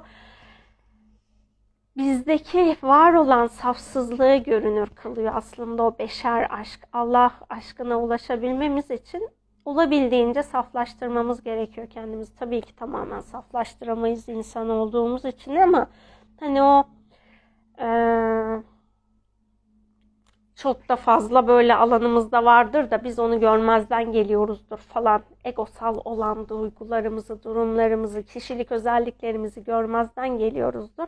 İşte bir beşeri aşk bizi o görmezden geldiğimiz her şeyle yüzleştirir, bizi saflaştırır. O yüzden hayatınıza eğer dahil olması gerekiyorsa beşeri aşkın dahil olmasına da izin verin. Tabii ki bu izin verdiğiniz şeyde her şeyi yaşayacaksınız diye bir durum söz konusu değil. Ee, kendi içinizdeki doğrularla beşeri aşk ilişkinizi yaşayın. Ee, Allah razı olsun demişsiniz. Hepimizden Allah razı olsun. Hepimiz bir diğerimize güzel güzel yol açıyoruz, alan açıyoruz, şifa alanı açıyoruz. E, şunu da hatırlatayım. E, eğer bizim hayatımızda negatif olmasaydı biz pozitifi fark edemezdik. Karanlık olmasaydı ışığı aydınlığı fark edemezdik. Onun için hayatımızda bize bu alanı gösterecek insanlar geldiğinde de tepki göstermeyelim. Ben de önceden çok aşırı tepki gösteriyordum. Artık daha az tepkisel olup doğru yani sevgi odağında eyleme geçme niyetine e, geçmeye niyet ettim. Hani bu da e, şu an çok başarılı mıyım? Bence değilim. Daha yeni yeni öğreniyorum çünkü ben de bu yol bu yolda ilerlemeyi. Ama bize biri karanlığı gösterdiğinde, negatifi gösterdiğinde ona da saldırgan olmayalım. Sevgiyle yaklaşalım, sevgiyle kendimizi ifade edelim. Durduracağımız yerde de tabii ki durdurmayı bilelim. Aşk olsun demişsiniz. Ne güzel ifade etmişsiniz. Evet her şey aşk olsun. Dilerim hani bugün yayını izleyenlerin her birinin de evliliği aşk olur. Aşkın saflığıyla o evliliği deneyimlerler. Evlenecek olanların da her birinin dahil edeceği hayatına evlilik aşklı olsun. Ben artık aranızdan ayrılayım. Ee, hepinize çok ama çok teşekkür ediyorum. Bu güzel aşk alanını açtığınız için aşkın şifası şu an her birimizin alanına hak ettiğimiz şekilde dahil olsun. Görüşmek üzere, hoşçakalın ve aşk olsun.